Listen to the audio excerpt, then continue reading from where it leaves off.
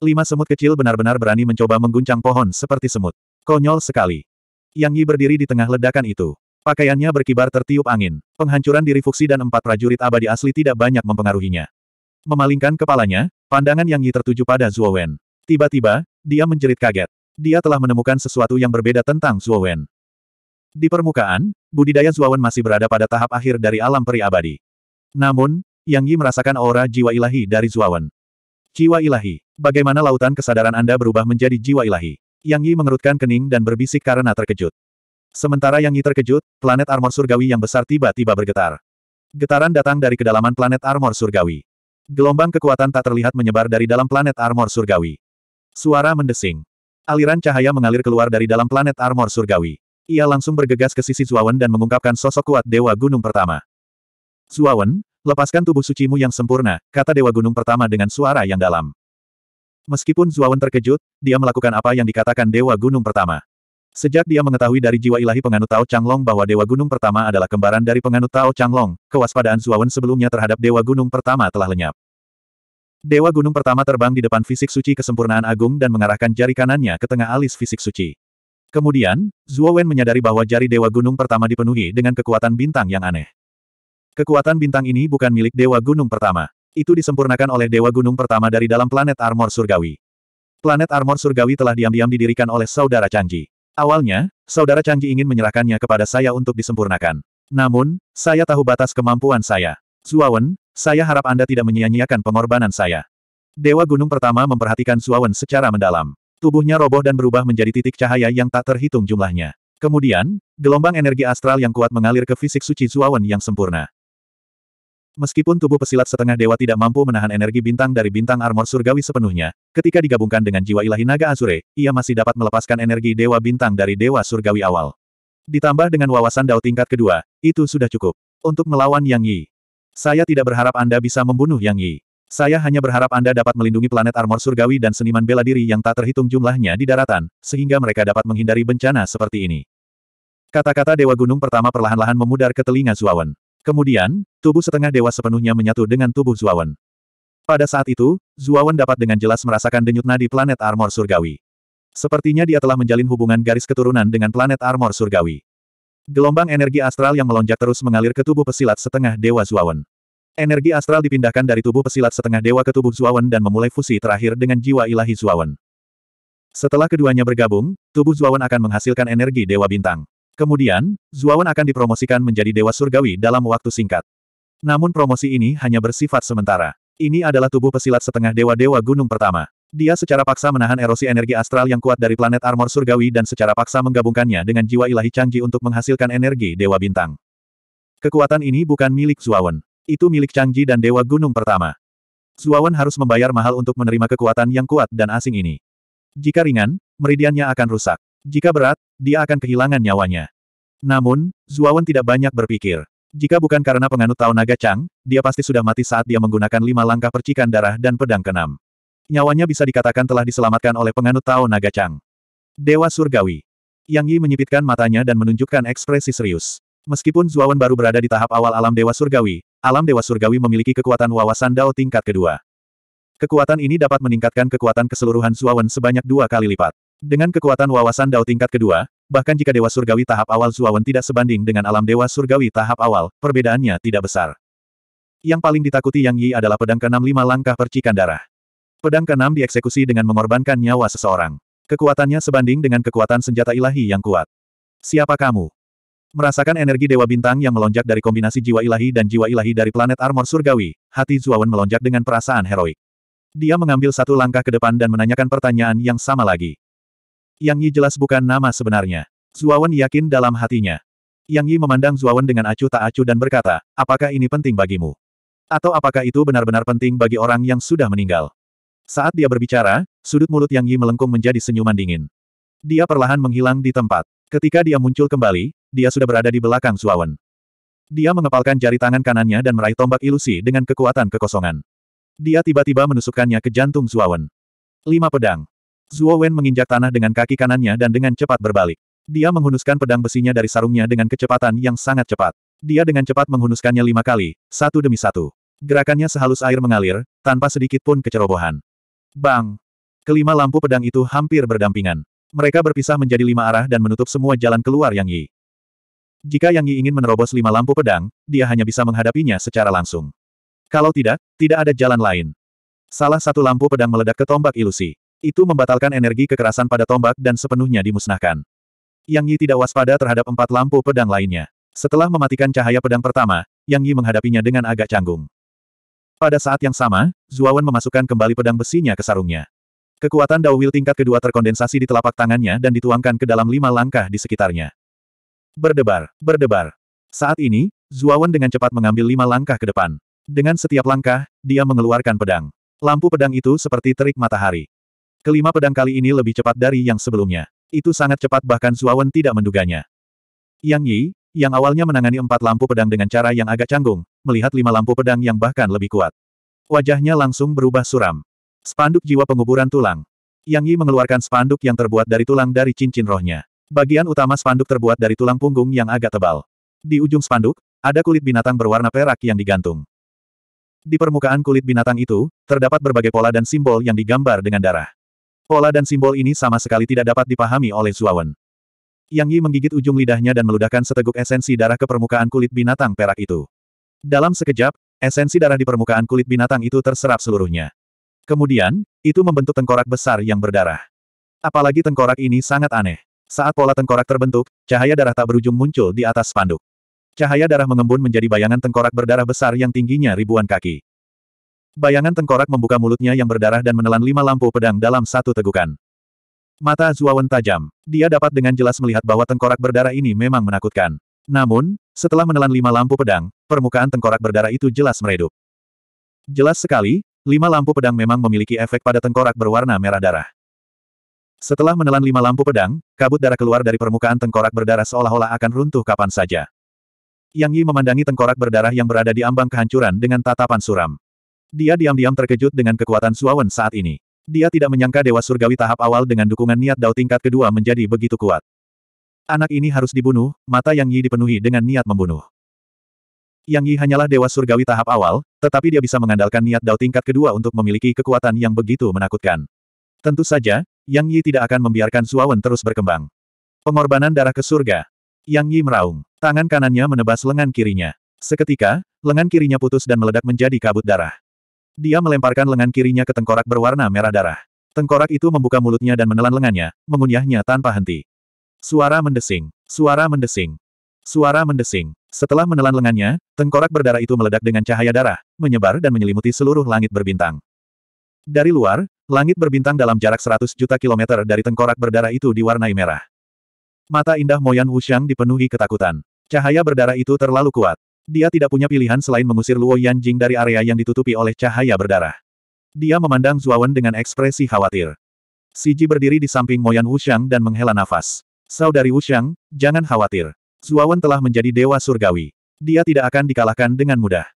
Moyan Wuxiang tidak menjawab. Dia hanya melihat punggung Zuawan dengan bingung. Zuawan, gunakan pedang keenam. Dalam cahaya optimis, Zuawan merasakan seluruh tubuhnya membeku. Cahaya optimis ini memiliki perasaan menekan yang sangat kuat. Saat Zuawan hendak melakukan gerakan lain, suara Blacky terdengar di benaknya. Xiao Hei dan Cheng Huang muncul di depan Zuawan dengan Fuxi Cauldron. Xiao Hei, kamu, murid Zuawan menyusut. Dia punya firasat buruk. Xiao Hei dan Cheng Huang saling berpandangan tapi tidak menjawab. Sebaliknya, mereka bergegas ke Fuxi Cauldron. Kemudian, Fuxi Cauldron mulai runtuh, berubah menjadi cahaya putih yang tak terhitung jumlahnya. Pada saat yang sama, raungan naga yang mengejutkan datang dari cincin roh Zuawan. Kemudian, dia menyadari bahwa mayat naga Xiao Hei mengalir keluar tanpa terkendali. Mayat naga itu menabrak cahaya putih. Kemudian, darah tak berujung tumpah dan cahaya putih diwarnai dengan warna hitam yang aneh. Zuawan, kami akan membantumu memblokir pedang keenam. Gunakan pedang keenam. Hanya pedang keenam yang dapat sepenuhnya melawan Yang Yi. Ini adalah keinginan lama guru. Dia ingin melindungi planet armor surgawi. Kami juga. Kamu semuanya bekerja keras. Cheng Huang dan aku ingin bekerja keras juga. Suara Xiao Hei terdengar di telinga Zuawan. Pupil Zuawan menyusut seukuran jarum. Namun, air mata mengalir dari matanya. Dia tahu bahwa jika dia menggunakan pedang keenam, Xiao Hei dan Cheng Huang mungkin akan menghilang sepenuhnya bersama dengan kualifuksi. Mati. Tiba-tiba, lampu merah darah mulai menyusut. Itu berubah menjadi gambar tengkorak besar berwarna merah darah. Zuo Wen kebetulan berada di tengah tengkorak. Zuo Wen, kamu sudah mati. Langkah ini cukup untuk membunuh dewa surgawi mana pun. Mulut Yang Yi penuh sarkasme. Dia memandang Zuawan dengan acuh tak acuh di dalam bayangan. Gunakan pedang keenam. Jika tidak, kita semua akan mati. Jangan biarkan Tuan, Fuxi, dan yang lainnya mati dengan penyesalan, raung Xiao Hei. Chang Ji, Fuxi, Chao Yu, Zanbi, Xiao Hei, Cheng Huang, terima kasih. Zuawan bergumam. Dia akhirnya menghunus pedang keenam.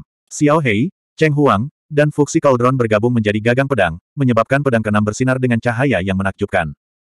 Gemuruh. 1882. Pedang keenam digunakan dengan energi Dewa Surgawi dan dukungan kehendak Dao tingkat kedua. Kekuatan pedang keenam jauh lebih kuat dan menakutkan daripada pedang keenam yang dia gunakan pertama kali. Yang Yi melayang di langit berbintang sambil menatap hantu tengkorak berwarna merah darah yang terpancar ratusan juta kilometer di depannya. Di wilayah berwarna merah darah di tengah-tengah hantu, cahaya pedang yang tidak mencolok terus meluas. Dalam sekejap, cahaya pedang memenuhi bayangan tengkorak berwarna merah darah. Di bawah pengaruh cahaya pedang, seluruh tengkorak berwarna merah darah itu runtuh. Saat tengkorak berwarna merah darah itu runtuh, cahaya pedang tidak berhenti mengembang. Sebaliknya, ia terus berkembang dengan kecepatan yang sangat cepat, menyapu Yang Yi. Pedang keenam lagi. Wajah Yang Yi berubah jelek. Pedang keenam yang digunakan Zuawan kali ini terlalu kuat. Itu jauh lebih kuat dari pedang keenam sebelumnya. Itu bahkan membuat Yang Yi merasakan ketakutan dan bahaya yang luar biasa. Anak ini sangat perhitungan. Melihat cahaya pedang menakutkan yang memancar ke segala arah, Yang Yi awalnya ingin menggunakan energi voidnya yang kuat untuk bersiap menghindari pedang keenam yang menakutkan. Namun, Ketika dia menggunakan energi kekosongan, dia menemukan bahwa seluruh tubuhnya dikelilingi oleh perasaan stagnan yang mengerikan. Perasaan stagnan inilah yang membuat Yang Yi tidak mungkin menggunakan energi void, dan sulit baginya untuk menemukan arah. Zuawan telah mempertimbangkan energi void Yang Yi yang kuat. Oleh karena itu, ketika dia memegang pedang keenam, dia menyebarkannya sedemikian rupa sehingga mengganggu energi kekosongan Yang Yi.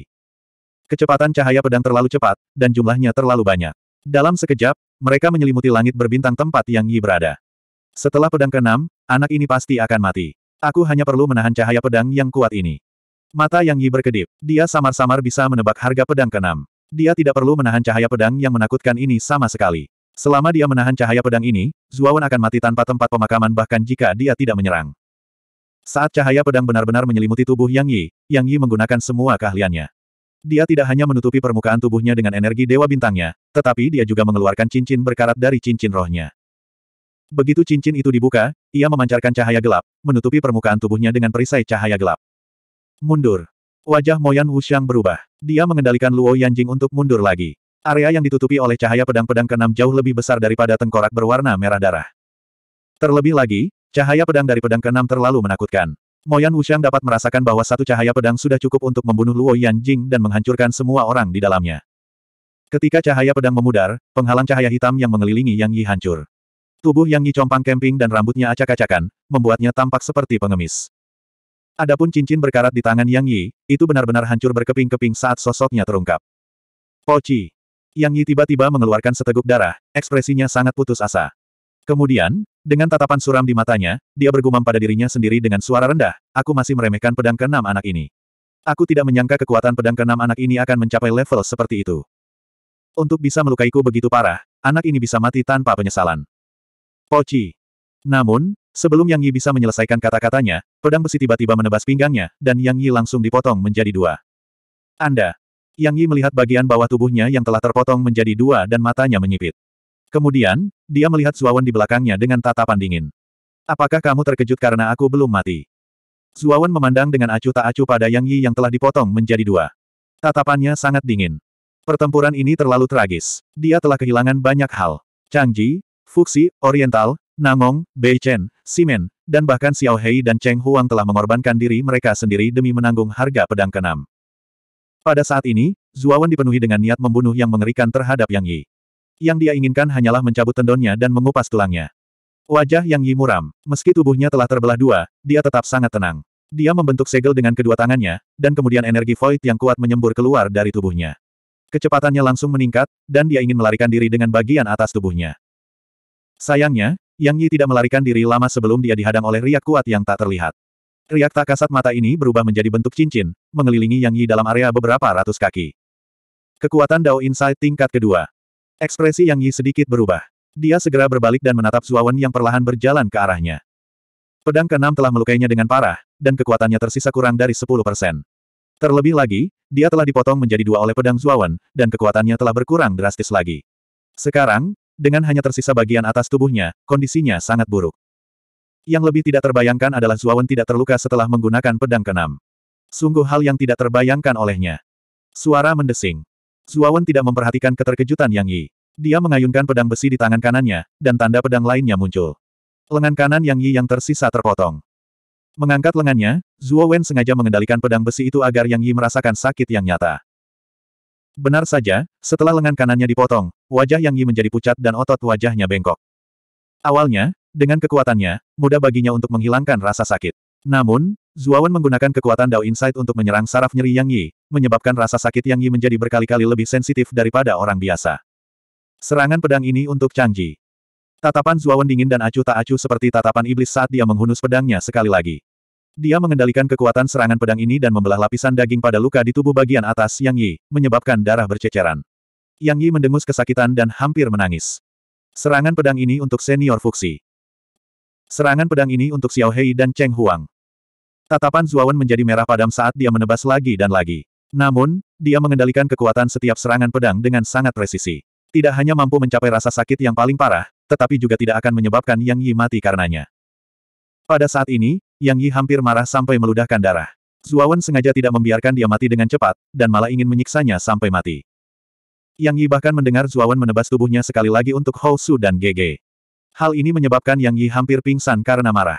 Namun, saat dia hampir pingsan, Zuawan menebas dengan pedangnya lagi, menyebabkan dia segera terbangun dari rasa sakit. Zuawan perlahan menyarungkan pedangnya dan berdiri di sana. Dia diam-diam menatap Yang Yi di hadapannya dan melihat bahwa tubuh bagian atas Yang Yi praktis tidak memiliki daging. Semuanya telah dicukur oleh Zuawan, hanya menyisakan kerangka berwarna merah darah. Satu-satunya yang masih utuh adalah kepala Yang Yi. Zuawan, kamu punya nyali. Kamu benar-benar berani membuatku dalam keadaan yang menyedihkan. Tatapan Yang Yi sangat suram saat dia berbicara dengan dingin kepada Zuawan. Zuawan menatap kepala Yang Yi, tapi dia agak heran. Yang Yi jelas berada di ujung tanduk, jadi mengapa tidak ada kepanikan di wajahnya. Kamu berada di ambang kematian, namun kamu masih begitu sombong. Pedang terakhir ini untuk diriku sendiri. Kamu sudah terlalu lama menipuku. Saat pertama kali bertemu denganmu, aku khawatir aku sudah terjerumus ke dalam rencanamu, bukan? Hari ini, aku akan menghapus seluruh rencanamu. Aku akan menghapus semuanya sepenuhnya. Saat dia berbicara, pergelangan tangan Zuawan berputar. Pedang besi itu seperti kipas yang berputar dengan kencang. Kemudian, tangan kanannya berada secara horizontal di depan kepala Yang Yi. Poci. Kepala Yang Yi langsung dipotong menjadi dua bagian. Namun, Tatapan Zuawan sangat serius ketika dia menemukan bahwa mata Yang Yi, yang terbelah menjadi dua bagian, sangat tenang, dan bahkan agak dingin. Bang! Kepala Yang Yi tiba-tiba meledak, dan aura menakutkan menyebar. Zuawan mau tidak mau terus mundur. Tatapannya suram saat dia menatap kepala Yang Yi yang meledak dengan sendirinya. Dia tidak tahu kenapa, tapi setelah membunuh Yang Yi, dia tidak merasa rileks sama sekali. Sebaliknya, dia merasa berat, dan bahkan perasaan krisis yang tidak bisa dijelaskan muncul di benaknya. Mati, Yang Yi juga mati. Di kejauhan, Mo Yan Wusang dan Si Ji di atas paus Luo Yan menghela nafas lega. Hati mereka dipenuhi dengan sukacita. Yang Yi memberi terlalu banyak tekanan kepada semua orang, sedemikian rupa sehingga seolah-olah ada gunung yang menekan hati mereka. Dengan adanya Yang Yi, tidak ada yang berani bernapas dengan keras. Tuan Si dan Yang Yi sama-sama mati. Kita terselamatkan. Di dunia di dalam paus Luo Yan, banyak pejuang yang bersorak. Mereka semua meneriakkan nama Zuawan dan memuji pencapaian besar Zuawan. Khususnya, orang-orang Ryuka di dunia mengangkat kepala dan membusungkan dada. Mata mereka dipenuhi dengan fanatisme dan pemujaan yang ekstrim. Ini karena orang yang menyelamatkan benua armor surgawi adalah pahlawan Ryuka mereka. Namanya Long Wen. Di Ryuka, Long Tian dan Jian Mu datang berdampingan.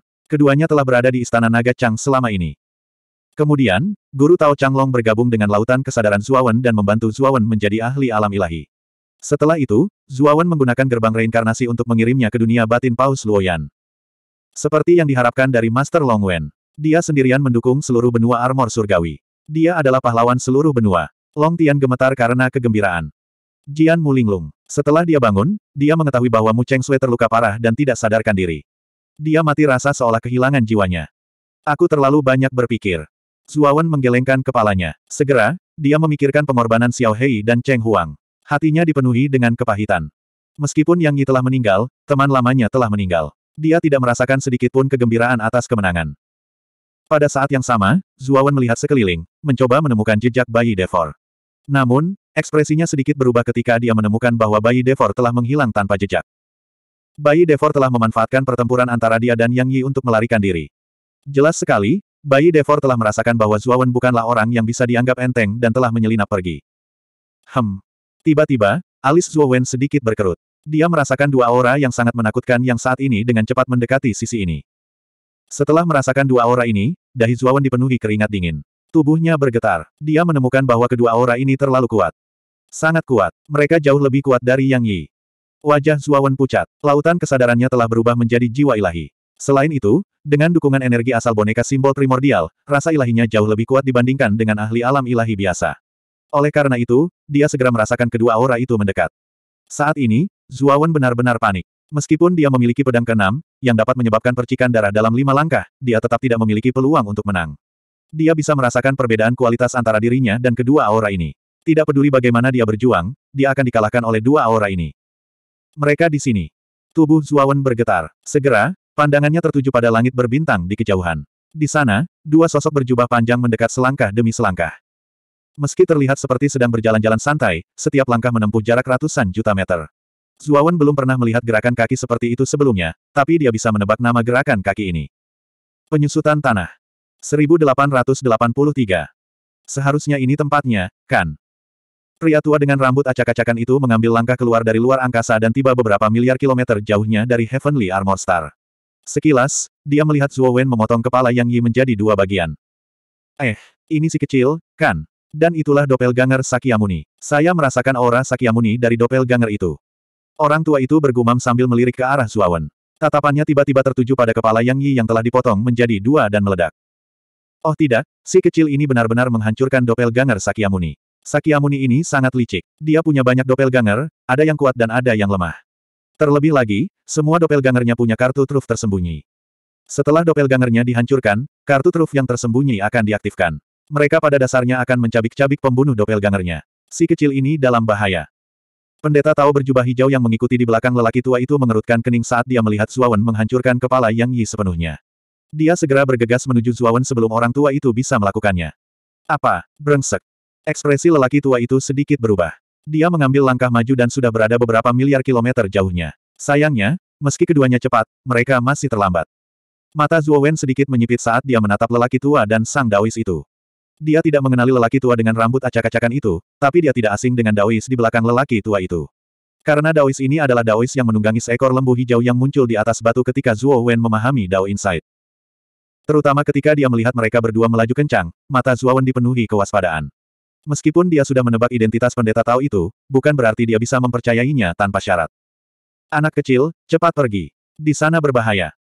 Di langit berbintang yang jaraknya ratusan juta kilometer, sebelum Sang Taois mendekati Zuo Wen, suara ledakan sudah terdengar. Itu terus bergema di telinga Zuo Wen, Luo Yanjing dan yang lainnya. Siapakah kedua orang ini? Pada saat ini, Moyan Wushang dan Si Ji di Luo Yanjing juga memperhatikan lelaki tua dan pendeta Tao itu. Mereka dikejutkan oleh kekuatan Sang Tao, tetapi mereka bahkan lebih bingung dengan apa yang dikatakan Sang Tao kepada Zuawan. Yang Yi jelas dibunuh oleh Zuawan. Bagaimana Zuawan masih berada dalam bahaya? Zuo Wen terkejut, tapi dia segera pulih dari keterkejutannya. Seluruh tubuhnya gemetar, dan perasaan tidak menyenangkan di hatinya semakin kuat. Dentang. Zuo Wen tiba-tiba mengeluarkan pedang besinya dan menginjak kaki kanannya. Dao Will tingkat keduanya menyebar saat dia berbalik dan menginjak dengan kaki kanannya, menyebabkan seluruh tubuhnya terbang mundur. Tatapannya mendarat di belakangnya. Seluruh tubuh sosok itu hanyalah ilusi, tetapi aura di tubuhnya sangat menakutkan, jauh melebihi aura Yang Yi. Ketika sosok ilusi itu muncul, jantung Zuawan berdebar kencang. Kemudian, seluruh tubuhnya menegang seolah membeku. Dia tidak bisa bergerak sama sekali. Pria itu berusia paruh baya. Rambutnya diikat menjadi sanggul tinggi. Ada tanda vertikal merah di antara alisnya. Tubuhnya memancarkan rasa tekanan yang tak terlukiskan. Tidak buruk, seekor semut saja yang membunuh doppelgangerku. Itu patut dipuji. Tapi membunuh doppelgangerku bukannya tanpa konsekuensi. Suara pria itu agak serak. Suaranya seakan bergema di telinga Zuawan. Itu bahkan mempengaruhi jiwa ilahi yang baru terbentuk. Begitu pria itu selesai berbicara, tubuh Zuawan tanpa sadar meledak menjadi awan kabut darah. Dia ingin melawan, tetapi dia terikat oleh kekuatan yang tidak terlihat. Dia tidak bisa bergerak sama sekali. Sakyamuni, kamu kalah taruhan. Apa maksudmu dengan ini? Hentikan sekarang juga. Orang tua dan pendeta Daois masih berada ratusan juta kilometer jauhnya di langit berbintang. Mereka menyaksikan Zuawan meledak menjadi awan kabut darah di bawah serangan Sakyamuni. Wajah mereka sangat suram. Aku memang kalah, tapi ini hanya seekor semut. Aku membunuhnya. Apakah kamu keberatan? Tatapan pria itu acuh tak acuh. Dia tidak memperhatikan orang tua dan pendeta Daois itu. Sebaliknya, dia dengan lembut menjentikkan jari kanannya. Niat jari yang tak terlihat melesat keluar dan menunjuk langsung ke ruang di antara alis Zuawan. Niat jari ini terlalu menakutkan. Zuawan menyaksikannya menyapu, tapi dia tidak bisa berbuat apa-apa. Dia tahu betul bahwa jika dia terkena jari ini, dia pasti akan mati. Bergerak. Di bawah krisis hidup dan mati ini, Zuowen meraung dengan suara rendah. Tiba-tiba, Dao Insight tingkat dua menyembur keluar dari dalam tubuhnya, dan riak-riak yang kuat dan tak berbentuk terbentang dengan tujuan untuk menahan kekuatan tekanan kuat yang keluar dari gambar sakra. Namun, kekuatan keinginan Dao tingkat kedua terlalu sulit untuk ditolak. Zuawan bahkan tidak memiliki kekuatan untuk menghunus pedangnya. Bergerak. Tangan kanan Zuawan mencengkeram gagang pedangnya erat-erat. Pembuluh darahnya menonjol saat dia menatap bayangan raksasa di langit yang menatapnya. Dia sepenuhnya memahami bahwa Yang Yi hanyalah tiruan kecil dari bayangan ini. Yang Yi yang asli adalah pria bernama Sakyamuni di depannya. Hanya untuk apa yang disebut taruhan, kamu bermain-main dengan kehidupan yang tak terhitung jumlahnya di planet armor surgawi dan benua armor surgawi di telapak tanganmu. Kamu memperlakukan kehidupan yang tak terhitung jumlahnya seperti rumput. Tidak peduli siapa kamu, jika kamu ingin membunuh aku, Zuawan, kamu harus membayar harganya. Mata Zuawan memerah. Dia menatap dingin ke arah Sakyamuni, serta lelaki tua dan pendeta Daois yang bergegas dari langit berbintang. Dari perkataan pendeta Daois dan Sakyamuni, dia hampir bisa menebak keseluruhan cerita. Yang Yi telah mengatakan sebelumnya bahwa semuanya hanyalah taruhan, dan nyawa yang tak terhitung jumlahnya di planet armor surgawi hanyalah domba kurban. Dia akhirnya mengetahui bahwa dua orang yang terlibat dalam pertaruhan itu adalah Sakyamuni dan pendeta Daois. Dia teringat pertemuannya dengan Yang Yi dan pendeta Daois ketika dia memahami maksud Dao di atas batu kuno. Dia tahu bahwa pertemuan mereka bukanlah suatu kebetulan, tetapi suatu pengaturan yang disengaja. Sakyamuni tersenyum dingin. Itu hanya sebuah planet. Jika bukan karena Devor, saya tidak akan peduli dengan sebuah planet belaka. Aku sudah sangat memikirkanmu dengan menggunakan planet pelindung surgawi dan seluruh kehidupan di dalamnya sebagai taruhan. Bahkan jika kamu mati, kalian para semut seharusnya merasa terhormat. Suara mendesing. Niat jari mencapai dahi Zuawan dalam sekejap. Namun, saat hendak memasuki jiwa Zuawan, niat jari itu tiba-tiba runtuh. Gelombang energi yang lebih menakutkan dan kuat menyapu jiwa Zuawan. Ya Tuhan, niat dao anak ini telah menguat. Dia telah mencapai dao inten tingkat ketiga. Orang tua yang bergegas mendekat melebarkan matanya dan berseru tak percaya. Dia menatap tajam ke arah Zuawan, tapi segera, kegembiraan muncul di wajahnya. Dia tahu bahwa Zuawan baru saja mencapai dao inten tingkat kedua belum lama ini. Sekarang, di bawah ancaman kematian, dia telah menerobos lagi dan mencapai Dao Inten tingkat ketiga. Ini adalah pertama kalinya dia melihat seseorang menerobos Dao Inten secara berurutan dalam waktu sesingkat itu.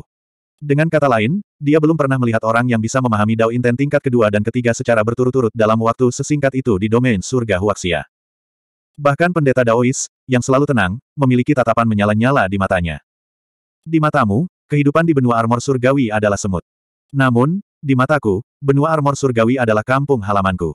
Kehidupan di sini berasal dari asal yang sama denganku. Keluarga, teman, dan saudara laki-lakiku ada di sini. Meskipun semutnya kecil, mereka masih bisa menggigitmu kembali. Hasilnya hanya kematian. Tatapan Zuawan tenang seperti air. Dao Inten tingkat ketiganya tiba-tiba meledak, dan kekuatan riak di sekitarnya tiba-tiba meningkat berkali-kali lipat. Tekanan mengerikan yang dikeluarkan oleh Nati Siva langsung lenyap. Bang! Saat ini, Zuawan mengayunkan pedangnya lima kali berturut-turut. Lima lampu pedang diperbesar tanpa batas pada saat ini, dan setiap cahaya pedang seperti matahari terbit. Mata Sakyamuni sedikit menyipit. Meskipun dia sedikit terkejut bahwa Zuawan tiba-tiba menembus Dao Inten tingkat ketiga, dia masih tidak terlalu memperhatikannya. Dia melambaikan tangan kanannya dan menghapus lima lampu pedang. Pedang keenam. Zuawan menghunus pedangnya sekali lagi. Cahaya pedang dari pedang keenam membentuk cahaya pedang berbentuk bulan sabit yang bahkan lebih menyilaukan dari matahari. Itu merobek langit berbintang dan menutupi cahaya bintang yang tak terhitung jumlahnya di langit berbintang. Tatapan Sakyamuni sedikit serius. Dia mengepalkan tangan kanannya dan langsung meraih cahaya pedang berbentuk bulan sabit. Bang! Namun, cahaya pedang ini tidaklah sederhana. Meskipun Sakyamuni telah meraih cahaya pedang tersebut, luka yang cukup besar telah muncul di telapak tangannya. Kamu benar-benar melukaiku. Sakyamuni menatap kosong ke telapak tangannya. Jelas sekali, dia tidak menyangka bahwa seekor semut pun bisa melukainya. Namun, dia dengan cepat mengungkapkan ekspresi marah. Namun, saat Sakyamuni tertegun, Zuawan memasukkan kembali pedang besi itu ke sarungnya dengan susah payah. Saat pedang keenam diayunkan, efek samping pada tubuhnya sudah muncul. Tubuhnya runtuh, dan retakan yang tak terhitung jumlahnya muncul. Terlebih lagi, meridian di tubuhnya bahkan terhalang karena hal ini. Kamu masih bisa menggunakan pedang ketujuh, kan? Tangan kiri Zuawan dengan ringan mencubit sarung tua lima langkah percikan darah. Saat itu, Zanbi hanya menggunakan pedang keenam, dan pedang ketujuh belum pernah terhunus. Ini karena pedang keenam sudah menjadi pedang yang membayar harga nyawa seseorang. Semua master yang menggunakan pedang keenam telah meninggal, dan tidak ada yang pernah menggunakan pedang ketujuh. Namun, Zuawan dapat dengan jelas merasakan bahwa pedang ketujuh dari lima langkah percikan darah memang ada. Dia sudah berada pada tahap awal alam Dewa Surgawi, dan dia juga memiliki tiga tingkat Dao Insight. Meskipun nyawanya semakin berkurang setelah menggunakan pedang keenam, kekuatan hidupnya sebagai Dewa Surgawi sangat kuat, dan dia belum sepenuhnya mati. Namun, dengan kecepatan hidupnya yang semakin menjauh, dia tahu bahwa hanya masalah waktu sebelum dia meninggal. Berdengung. Lima langkah percikan darah bergetar dan berdengung, seolah menunggu Zuawan menghunus pedang ketujuh. Pedang ketujuh. Zuawan bergumam seolah sedang berbicara sambil tidur. Tangan kanannya yang gemetar tiba-tiba menjadi kuat, lalu dia menghunus pedangnya lagi. Ini adalah satu-satunya pedang ketujuh. Selama bertahun-tahun yang tak terhitung jumlahnya sejak lahirnya lima langkah percikan darah, ini adalah pertama kalinya Zuawan menghunus pedang ketujuh. Saat pedang ini ditarik, pedang besi itu hancur sedikit demi sedikit menjadi bubuk halus, dan cahaya pedang hitam yang sangat tidak mencolok diam-diam menyapu, langsung sampai ke luka di telapak tangan kanan ilusi Sakyamuni. Saat ini, sosok ilusi Sakyamuni masih menatap kosong ke luka di telapak tangannya. Dia tidak pernah berpikir bahwa Zuawan benar-benar mampu menghunus pedang dan menyerang, jadi dia tidak peduli sama sekali. Poci. 1884 Saat telapak tangan Sakyamuni meledak menjadi kabut berdarah, seluruh langit berbintang menjadi sunyi. Entah itu makhluk hidup yang tak terhitung jumlahnya di Paus Luoyan, penganut Tao dan lelaki tua yang bergegas, atau Sakyamuni sendiri, mereka semua menjadi linglung pada saat ini. Si kecil ini benar-benar merusak proyeksi Sakyamuni. Betapa menakjubkan. Orang tua yang acak-acakan itu perlahan menundukkan kepalanya. Pandangannya tertuju pada tubuh Zuo Wen, yang terus-menerus runtuh. Dia terkejut. Bahkan tubuh Daois itu membeku ketika dia memandang Zuo Wen dengan tidak percaya. Meskipun ini hanyalah proyeksi Sakyamuni dan bukan Sakyamuni sendiri, hal ini masih jauh dari apa yang dapat dilawan oleh Dewa Surgawi. Secara logika, tidak peduli seberapa keras Zuawan berjuang, dia seharusnya tidak bisa menyakiti Sakyamuni sama sekali. Namun, tidak hanya terluka, ia bahkan membuat telapak tangan Sakyamuni hancur berkeping-keping. Benar-benar mengejutkan. Meskipun kamu hanya seekor semut, kamu masih ingin menggigitnya kembali sebelum mati. Sang Tao bergumam pelan. Kemudian, dengan hentakan kaki kanannya, dia bergegas ke sisi Zuawan. Semut, kamu mendekati kematian. Sakyamuni meraung marah. Telapak tangannya yang meledak langsung pulih, dan dia menyerang lagi. Kali ini, telapak tangannya jauh lebih kuat dari sebelumnya. Dia adalah penguasa domain Sakyamuni. Bahkan jika dia hanya proyeksi, itu seharusnya lebih dari cukup untuk menghadapi Zuawan, yang berada di level Dewa Surgawi. Namun, dia tidak menyangka akan disakiti oleh semut seperti Zuawan. Bagaimana Sakyamuni yang angku bisa mentolerir hal ini? Oleh karena itu, dia menyerang dengan telapak tangannya dan mengarahkannya ke Zuawan, ingin menghancurkannya hingga berkeping-keping. Sayangnya, saat telapak tangan Sakyamuni turun, sang penganut tahu melambaikan lengan bajunya, dan lampu hijau menyala dan mengenai telapak tangan tersebut. Kemudian, telapak tangan itu roboh. Apalagi lampu hijau ini mengikuti telapak tangan sakra dan memasuki tubuh fantasi sakra seperti pisau panas menembus mentega. Itu terus bergejolak di dalam tubuhnya, dan setelah beberapa saat, fantasi sakra menjadi semakin redup. Sakyamuni, kamu kalah taruhan. Beraninya kamu menyerangku, kata Sang Tao dengan acuh tak acuh. Sakra mundur puluhan langkah ke belakang dan menatap Sang Daois dengan tatapan muram. Dia berkata dengan dingin, Tai King, aku memang kalah tapi anak ini bukan taruhan. Jika aku membunuhnya, maka aku bunuh dia. Apa maksudmu dengan menghalangiku? Apakah kamu mencoba mengambil keuntungan dari kenyataan bahwa aku tidak ada di sini? Sakyamuni, menurutmu apakah aku tidak tahu kalau kamu diam-diam menempatkan tiruanmu Yang Yi di benua Sky Armor? Apakah menurut Anda Anda dapat meningkatkan peluang menang dengan menempatkan klon Anda di sana? Sayang sekali saya juga telah melakukan gerakan rahasia. Zuawan ini berasal dari benua Huaxia di alam surgawi Huaxia. Jika tidak, menurut Anda apakah anak ini memenuhi syarat untuk memahami? Dao Will adalah konsepku. Hanya makhluk hidup di alam surgawi Huaxia yang memenuhi syarat untuk memahami kehendak Dao. Karena anak laki-laki ini telah memahami tiga tingkat kehendak Dao, dia adalah setengah murid penguasa Dao dan kebajikan sejati. Jika kamu ingin membunuhku, kamu harus melewati aku terlebih dahulu. Mata penguasa Dao dan kebajikan sejati terlihat tenang. Dia meletakkan tangan kanannya di dada Zuawan dan energi kental melonjak ke tubuh Zuawan. Itu mengalir di sepanjang meridiannya dan beredar ke seluruh tubuhnya, memperlambat kecepatan hidupnya. Namun, Zuo tahu bahwa meskipun dia telah memperlambat kecepatan hidupnya, hidupnya masih terus mengalir. Begitu waktunya habis, dia akan mati total. Dia bahkan lebih yakin dengan identitas Daois ini karena orang ini menyebut dirinya penguasa Dao dan kebajikan sejati. Dalam legenda Huaxia, gelar ini merupakan julukan pendiri Taoisme, Lao Zi. Zuawan sepenuhnya mengerti setelah mendengar kata-kata penguasa Dao dan kebajikan yang sejati. Bukan suatu kebetulan jika jiwanya telah berpindah ke benua Sky Armor. Itu semua diatur oleh penguasa sejati Dao dan kebajikan. Sama seperti bagaimana Sakyamuni mengirim klonnya Yang Yi ke benua Sky Armor, penguasa Dao dan kebajikan sejati telah memilih manusia yang cocok dari bumi benua Huaxia untuk bereinkarnasi ke benua Sky Armor. Itu juga untuk meningkatkan peluangnya memenangkan taruhan ini. Meskipun dia bertransmigrasi karena kualifuksi dan selalu berpikir bahwa transmigrasinya disebabkan oleh Changji, dia tahu bahwa kualifuksi sebenarnya telah lepas dari kendali Changji saat itu dan penguasa Dao dan kebajikan sejati telah menggunakan kualifuksi untuk mendarat. Bumi. Zuawan secara tidak sengaja mengambil kualifuksi dan jatuh ke tangan penguasa Dao dan kebajikan sejati. Baginya, ini adalah sebuah bencana yang tidak pantas diterimanya. Saat ini, tatapan Zuawan sangat dingin. Dia tahu betul bahwa penguasa Dao sejati dan Sakyamuni yang tampak baik hati tidak jauh berbeda. Penguasa Dao dan kebajikan sejati juga memandang makhluk hidup yang tak terhitung jumlahnya di benua Sky Armor sebagai semut dan tidak peduli dengan kehidupan mereka sama sekali. Jika Zuawan tidak memahami makna Dao tingkat ketiga, penguasa Dao sejati mungkin tidak akan peduli jika Zuawan hidup atau mati. Pada saat yang sama, dia memikirkan zaman kuno benua Sky Armor.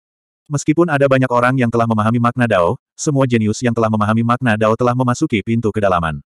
Mungkin pintu kedalaman sama sekali bukan tempat yang bagus. Bahkan Yuan Hongwen belum benar-benar memahami makna Dao dan hanya menyentuh ujungnya saja. Dapat dikatakan bahwa sejak zaman kuno, Zuawan adalah satu-satunya yang benar-benar memahami makna Dao di benua Sky Armor. Alasannya berkaitan erat dengan apa yang dikatakan penguasa Dao sejati tentang jiwanya yang berasal dari wilayah langit Huasia. Ekspresi Sakyamuni membeku. Meskipun tubuh utamanya tidak lebih lemah dari penguasa Dao sejati dan bahkan lebih kuat dari penguasa Dao sejati sampai batas tertentu, tubuh utamanya berada dalam keadaan terpencil dan tidak dapat datang saat ini. Kekuatan proyeksi ini tidak signifikan dibandingkan dengan penguasa Dao sejati dan Yu King di sisinya. Akan mudah bagi penguasa Dao sejati untuk menghancurkan proyeksinya. Jika penguasa Dao sejati tidak menunjukkan belas kasihan sebelumnya, proyeksi Sakyamuni akan dihancurkan oleh penguasa Dao sejati dan tidak akan membiarkannya berbicara terlalu banyak omong kosong. Sakyamuni, kami tidak takut kamu datang sendiri. Tapi penguasa Dao sejati dan aku akan bekerja sama. Jika kamu ingin berurusan dengan kami, kamu harus siap secara mental. Yu King, yang rambutnya acak-acakan, mengepalkan tinjunya dan berkata dengan nada jahat. Ekspresi Sakyamuni sedikit berubah. Dia menatap dingin ke arah Zuawan di samping penguasa Dao sejati dan mencibir, lupakan saja. Lagi pula, anak ini akan mati. Tidak peduli seberapa kuat wilayah langit Huasia, aku tidak percaya kamu bisa menentang langit dan berubah. Nasibmu, bukan gayamu membuang-buang energi untuk seseorang yang akan mati. Zuawan menyipitkan matanya tetapi tidak menjawab. Kata-kata Sakyamuni memiliki makna tersembunyi, tapi dia tidak menjawab. Penguasa Dao yang sejati melirik Zuawan di sampingnya dan kemudian memandang Sakyamuni. Menyelamatkan anak ini adalah masalah domain langit Huasia. Anda tidak berhak bergosip. Dan di mana bayi Devor? Tiba-tiba, penguasa Dao sejati melihat sekeliling dan wajahnya berubah jelek. Tatapan Sakra menunjukkan ekspresi sombong saat dia berkata sambil tersenyum, mungkin, pada pertarungan sebelumnya, anak kecil ini ketakutan dan melarikan diri. Jika ingin menemukannya, Anda bisa mencari di langit berbintang ekstrateritorial. Mungkin Anda bisa menemukannya. Kamu melakukannya dengan sengaja. Yuking memiliki temperamen yang buruk. Dia menatap Sakyamuni dengan marah.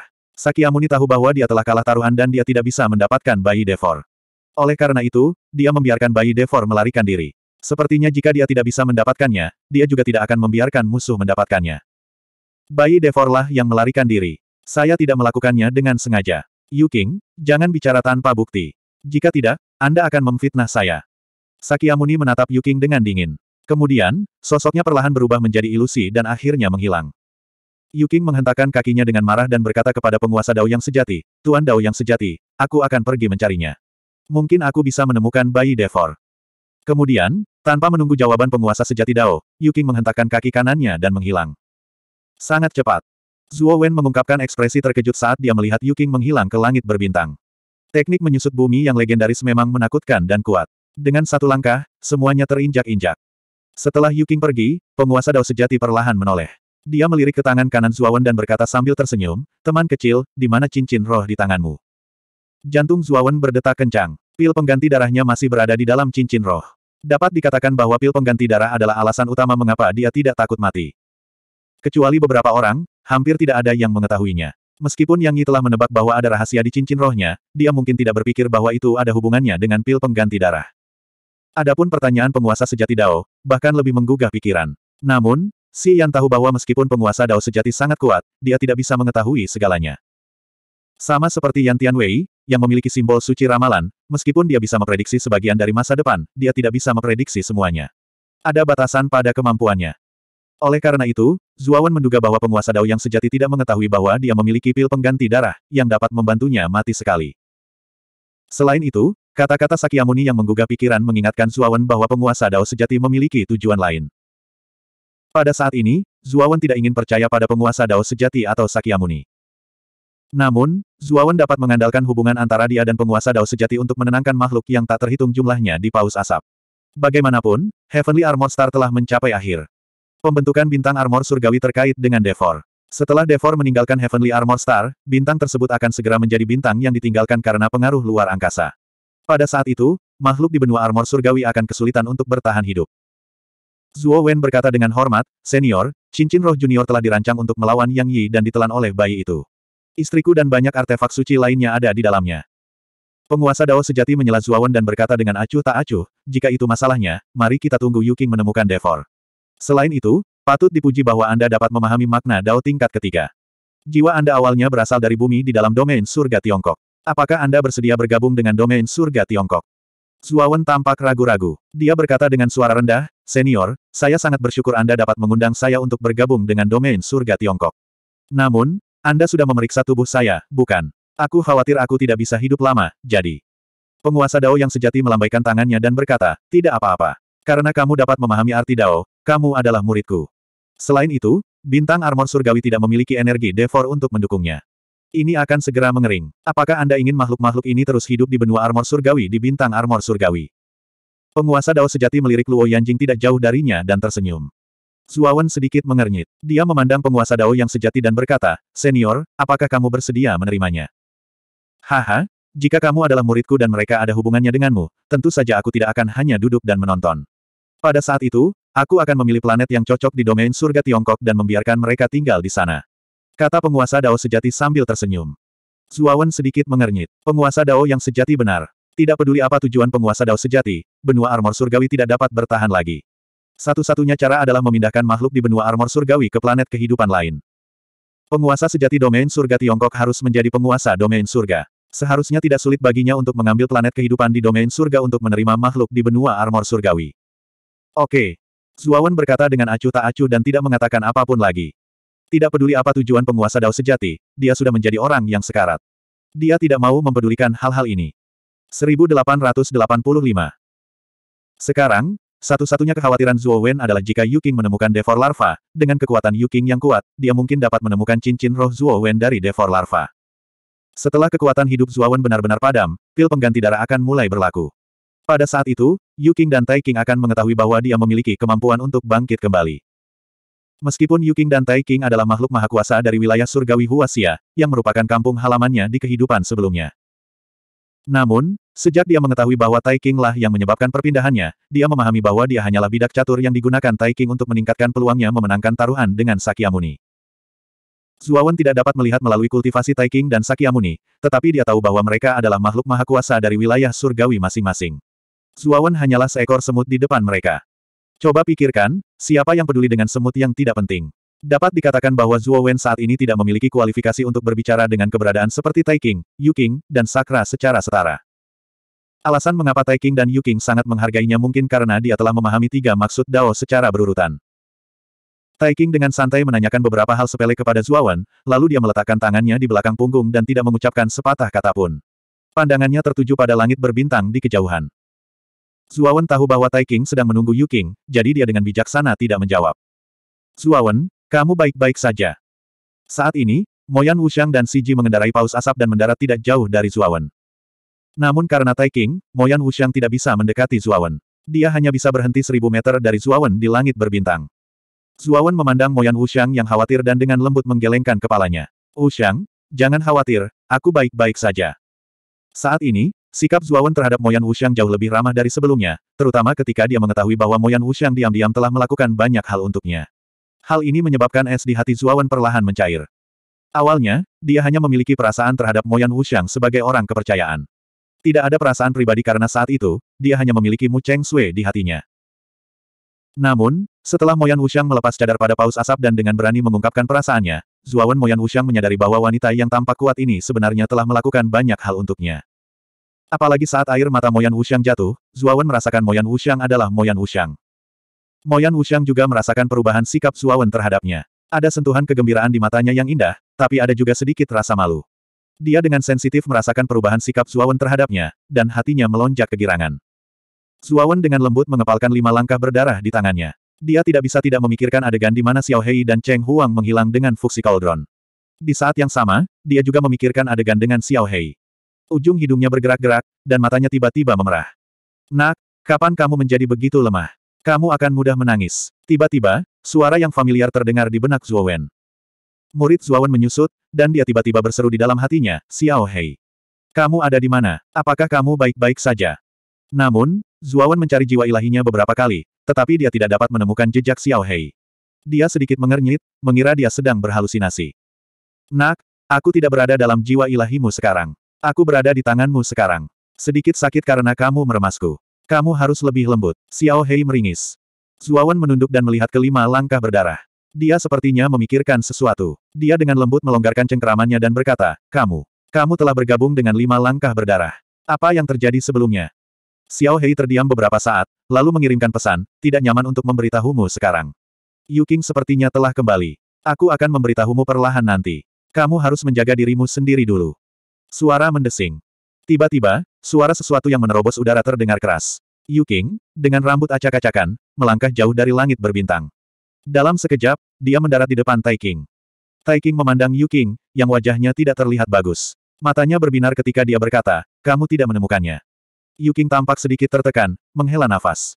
Tidak mudah menemukannya. Kamu tahu bahwa luar angkasa memberikan tekanan yang besar terhadap para penggarap wilayah surga. Devor lahir di luar angkasa, jadi dia bisa melakukan perjalanan jauh lebih cepat daripada di wilayah surga. Jadi, berbicara tentang ini, Yu King tersipu. Meskipun dia tidak mau mengakuinya, dia tidak dapat menemukan bayi Devor. Apakah kamu ingin aku mencarinya lagi? Yu King berkata dengan enggan. Orang suci sejati mengerutkan alisnya. Dia melihat sekeliling angkasa luar yang luas dan menggelengkan kepalanya. Luar angkasa terlalu luas, jauh lebih besar dari delapan langit. Meski penuh dengan planet terlantar, bukan berarti tidak ada makhluk yang lebih kuat. Devor adalah contoh hidup. Yu King, dengan kecepatanmu, jika kamu tidak dapat menemukan bayi Devor, percuma saja melanjutkan pencarian.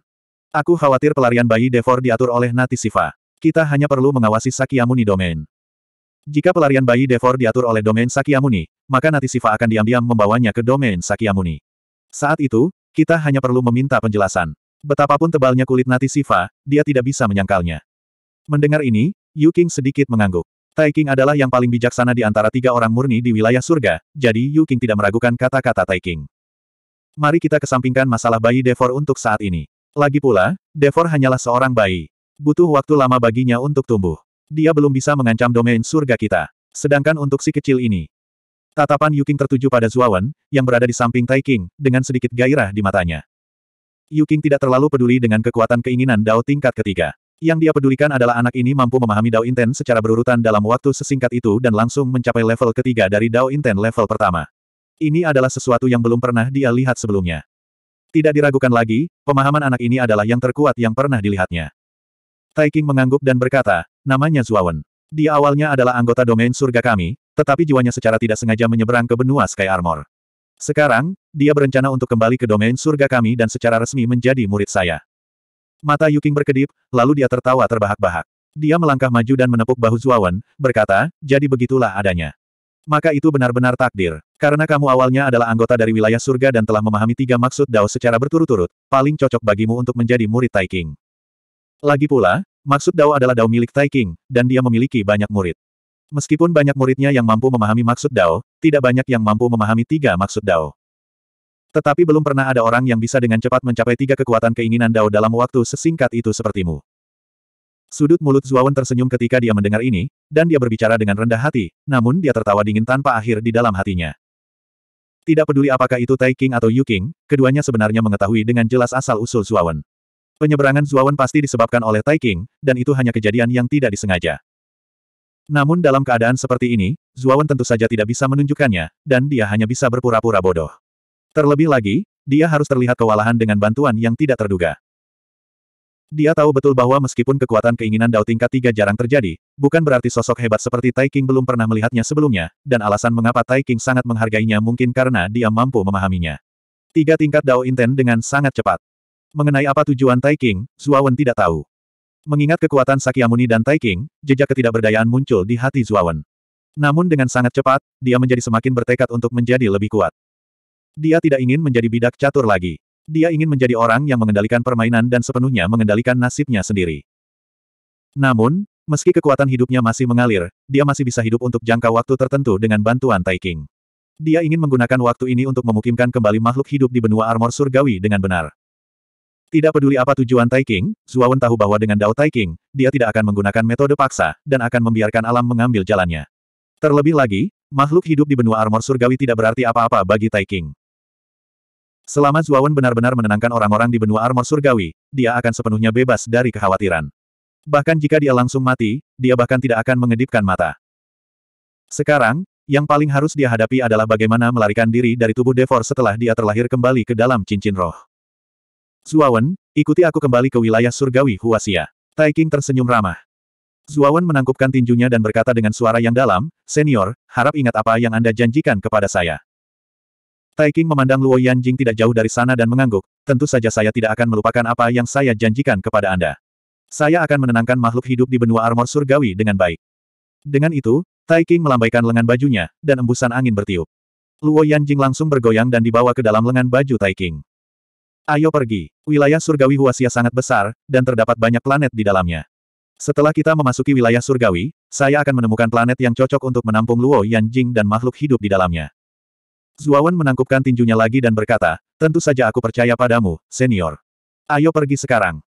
Tai King terkejut melihat Zuawan setuju begitu cepat, tapi dia segera menenangkan diri. Tai King melambaikan lengan bajunya, dan sebuah kapal kayu yang sangat besar muncul di depan Zuawan. Kapal kayu itu tampak biasa saja, tetapi ukiran di haluannya sangat tajam, seperti tombak panjang. Tentu saja, Zuawan tidak terlalu memperhatikan kapal itu sendiri. Sebaliknya, matanya tertuju pada bagian bawah kapal kayu. Ada sembilan matahari yang tertanam di dasar kapal kayu itu. Sembilan matahari ini tidak terlalu besar. Masing-masing berukuran hanya beberapa puluh kaki. Namun, panas yang dipancarkan sembilan matahari ini menyebabkan wajah Zuo memerah. Dia merasa seperti berada di dalam tungku. Hehe, anak kecil, benda ini adalah tunggangan kerajaan Tai King, yang disebut pesawat ulang-alik sembilan matahari. Ini mungkin terlihat seperti kapal kayu biasa, tapi ada sembilan bintang yang tertanam di bagian bawah kapal kayu itu. Meskipun ukuran bintang-bintangnya sangat besar, kesembilan bintang ini telah dikompresi berkali-kali oleh kemampuan ilahi Tai King yang luar biasa hingga menjadi sangat kecil. Benda ini dapat dianggap sebagai astrolabe langit hampa, dan kecepatannya jelas merupakan salah satu yang terbaik di antara bintang-bintang lainnya. Wilayah Surgawi Sejak lelaki tua ini mengeluarkan pesawat ulang-alik sembilan matahari, dia jelas sangat menghargaimu. Yuking tertawa dan menatap Tai King. Jelas sekali, dia mengira Tai King mengeluarkan pesawat ulang-alik sembilan matahari. Hindari langit astrolabe. Murid Zuawan menyusut. Dia tahu bahwa di atas True Immortal adalah formasi jiwa, dan dia juga mendengar bahwa ada alam lain di atas formasi jiwa, dan itu adalah Void Sky. Namun, alam ini terlalu jauh dan tidak dapat dijangkau oleh banyak makhluk di benua armor surgawi, jadi mereka hanya menganggapnya sebagai legenda. Tapi sekarang, Tai King mengeluarkan Void Sky Astrolabe. Bukankah itu berarti Tai King dan Yu King adalah kultivator tertinggi di dunia langit Void? Mengambil napas dalam-dalam, Zuawan menenangkan diri dan menangkupkan tinjunya ke arah Tai King. Senior, bisakah kamu menjelaskan formasi jiwa dan alam langit hampa kepadaku? Tai King melirik Zuawan dan tersenyum. Hehe, apakah kamu masih memanggilku senior? 1886 Tai King tersenyum dan berkata, ayo masuk ke pesawat ulang-alik sembilan matahari dulu. Dengan itu, Tai King mendarat di dek pesawat ulang-alik sembilan matahari. Yu King melirik Zuawan dan mengikuti Tai King. Mata Zuawan berkedip. Tanpa ragu, dia melangkah ke pesawat ulang-alik sembilan matahari. Segera, dia menemukan geladak itu panas membara. Secara logika, Zuawan telah mencapai tahap awal alam Dewa Ilahi. Bahkan jika itu karena kombinasi roh Tao Changlong dan tubuh setengah Dewa-Dewa Gunung pertama, kekuatannya tetap tidak bisa diremehkan. Suhu normal yang tinggi tidak akan berpengaruh apa pun pada Zuo Wen saat ini. Namun kini, suhu tinggi dari de pesawat ulang-alik sembilan matahari justru memengaruhi Zuawan, menyebabkan kakinya terasa panas dan cemas. Tai King melambaikan lengan bajunya, dan hembusan angin bertiup ke titik Tian Ling Zuawan. Kemudian menyebar ke seluruh tubuhnya. Zuawan hanya merasa sejuk di sekujur tubuhnya, dan matanya menunjukkan ekspresi nyaman. Terima kasih Tuan, Zuawan berkata dengan suara yang dalam. Melihat sikap Zuawan yang tidak merendahkan atau sombong, Tai King menunjukkan ekspresi penghargaan.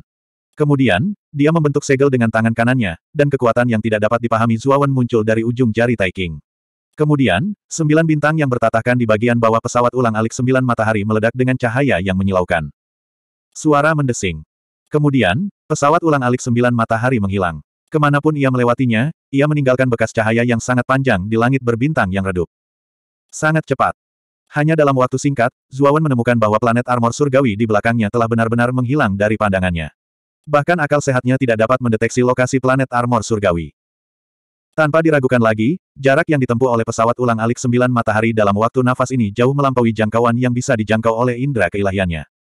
Haha, sekarang setelah kita berangkat, saya akan menjelaskan pembagian spesifik alam transformasi ilahi kepada Anda. Sedangkan untuk dunia langit virtual, masih agak jauh dari Anda, jadi sebaiknya Anda tidak pergi dan mempelajarinya terlalu banyak untuk saat ini. Mata Taiking serius saat dia berkata, sebenarnya, alam transformasi ilahi hanya terbagi menjadi dua alam besar, alam dewa surgawi dan alam dewa sejati. Saya pikir Anda seharusnya sudah mengetahui pembagian spesifik alam Dewa Surgawi saat Anda maju ke alam Dewa Surgawi awal, kan? Zuawan mengangguk dan berkata, saya tahu itu. Alam Dewa Ilahi dibagi menjadi tahap awal, tahap tengah, tahap akhir, dan tahap puncak. Yang Yi, avatar Nati Siva, adalah mendiang Dewa Ilahi.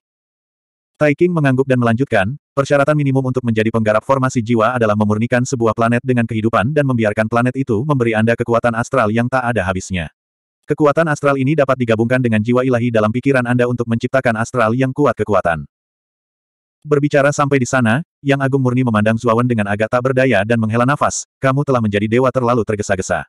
Jiwamu tidak berasal dari kultivasimu sendiri, dan planet yang kamu sempurnakan sebenarnya adalah planet armor surgawi.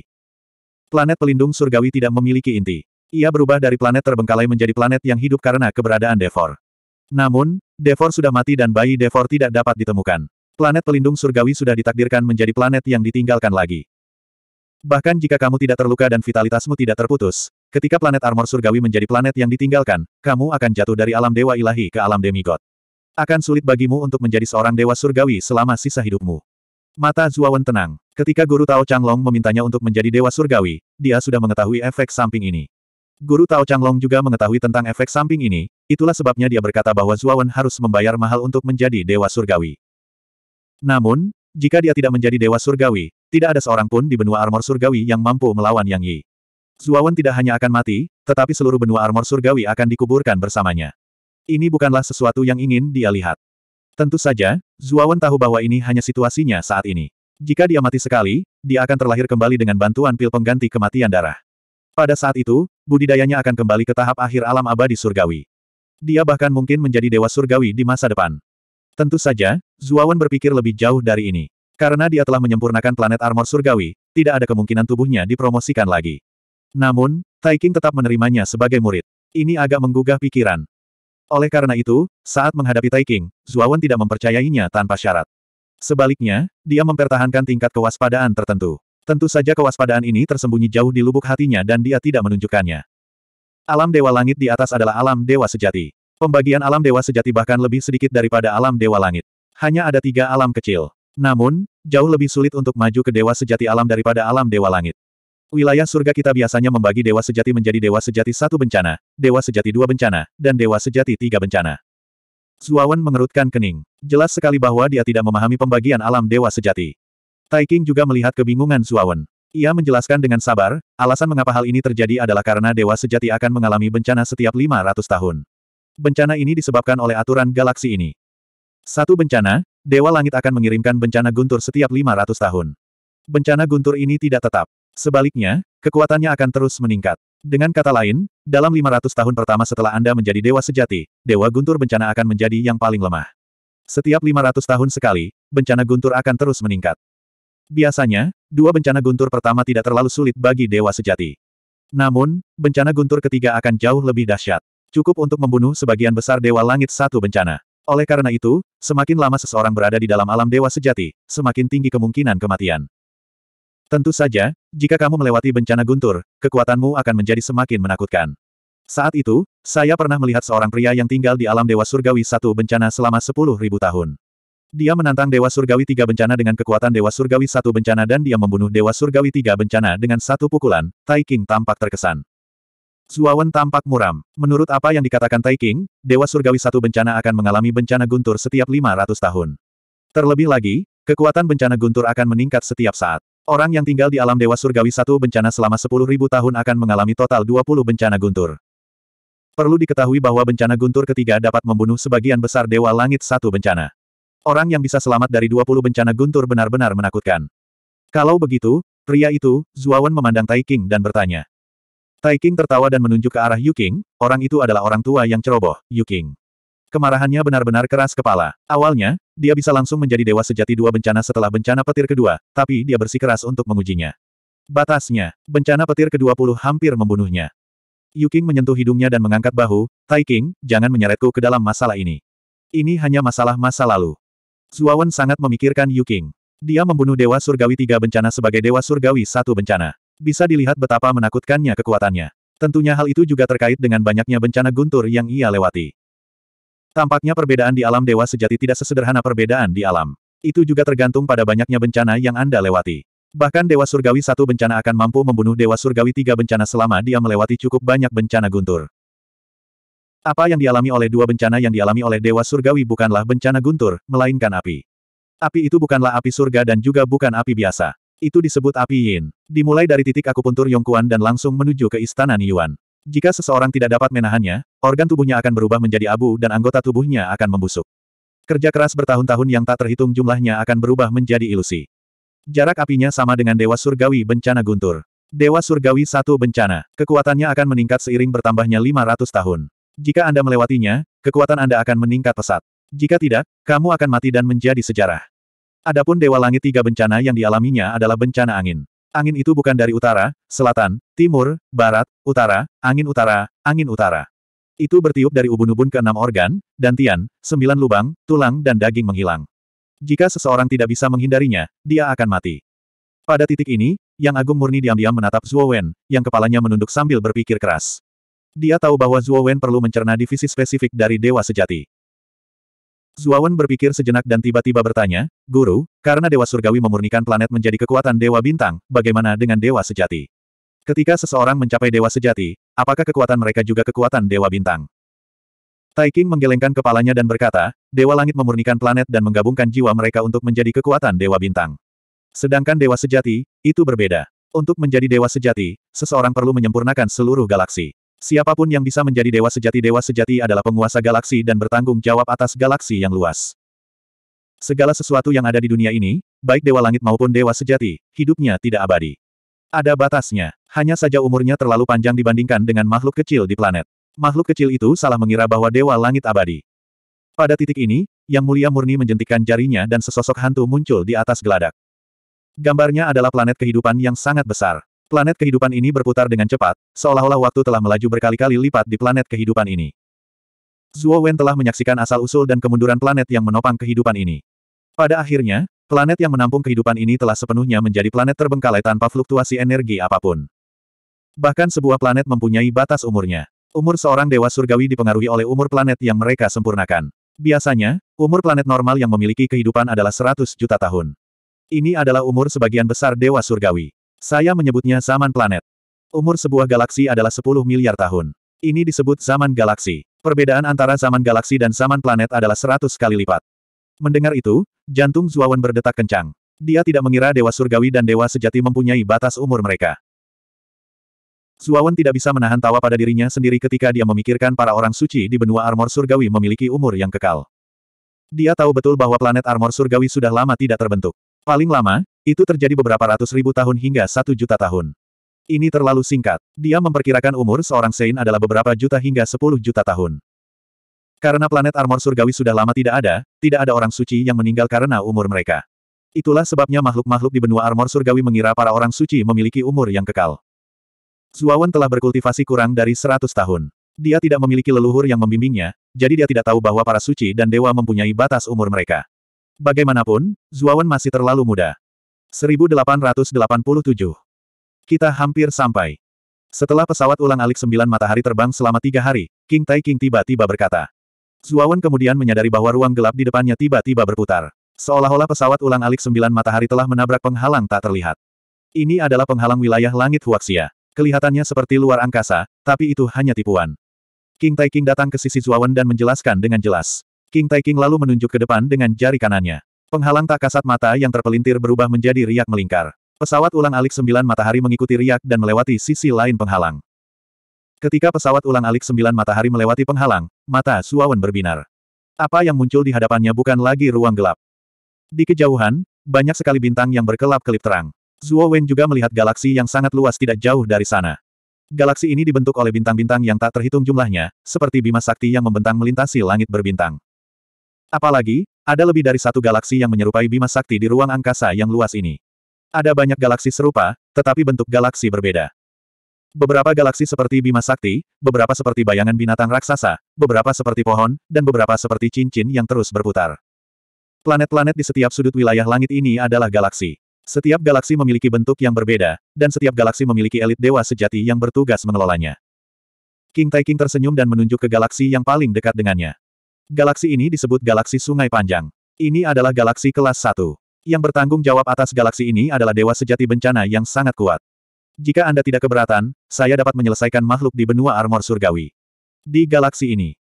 Setelah menyebutkan galaksi kelas 1, King Taiking menjelaskan, wilayah langit Huaxia membagi galaksi menjadi tiga tingkatan. Mereka adalah galaksi kelas 1, galaksi kelas 2, dan galaksi kelas 3. Yang bertanggung jawab galaksi kelas 1 adalah Dewa Sejati satu bencana, galaksi kelas 2 adalah Dewa Sejati dua bencana, dan galaksi kelas 3 adalah Dewa Sejati tiga bencana. Tentu saja, beberapa dewa sejati yang kekuatannya jauh melebihi miliknya juga dapat bertanggung jawab atas sistem bintang tingkat tinggi dalam jangkauan kekuatan mereka. Menguasai sistem bintang bergantung pada bidang kekuatan seseorang.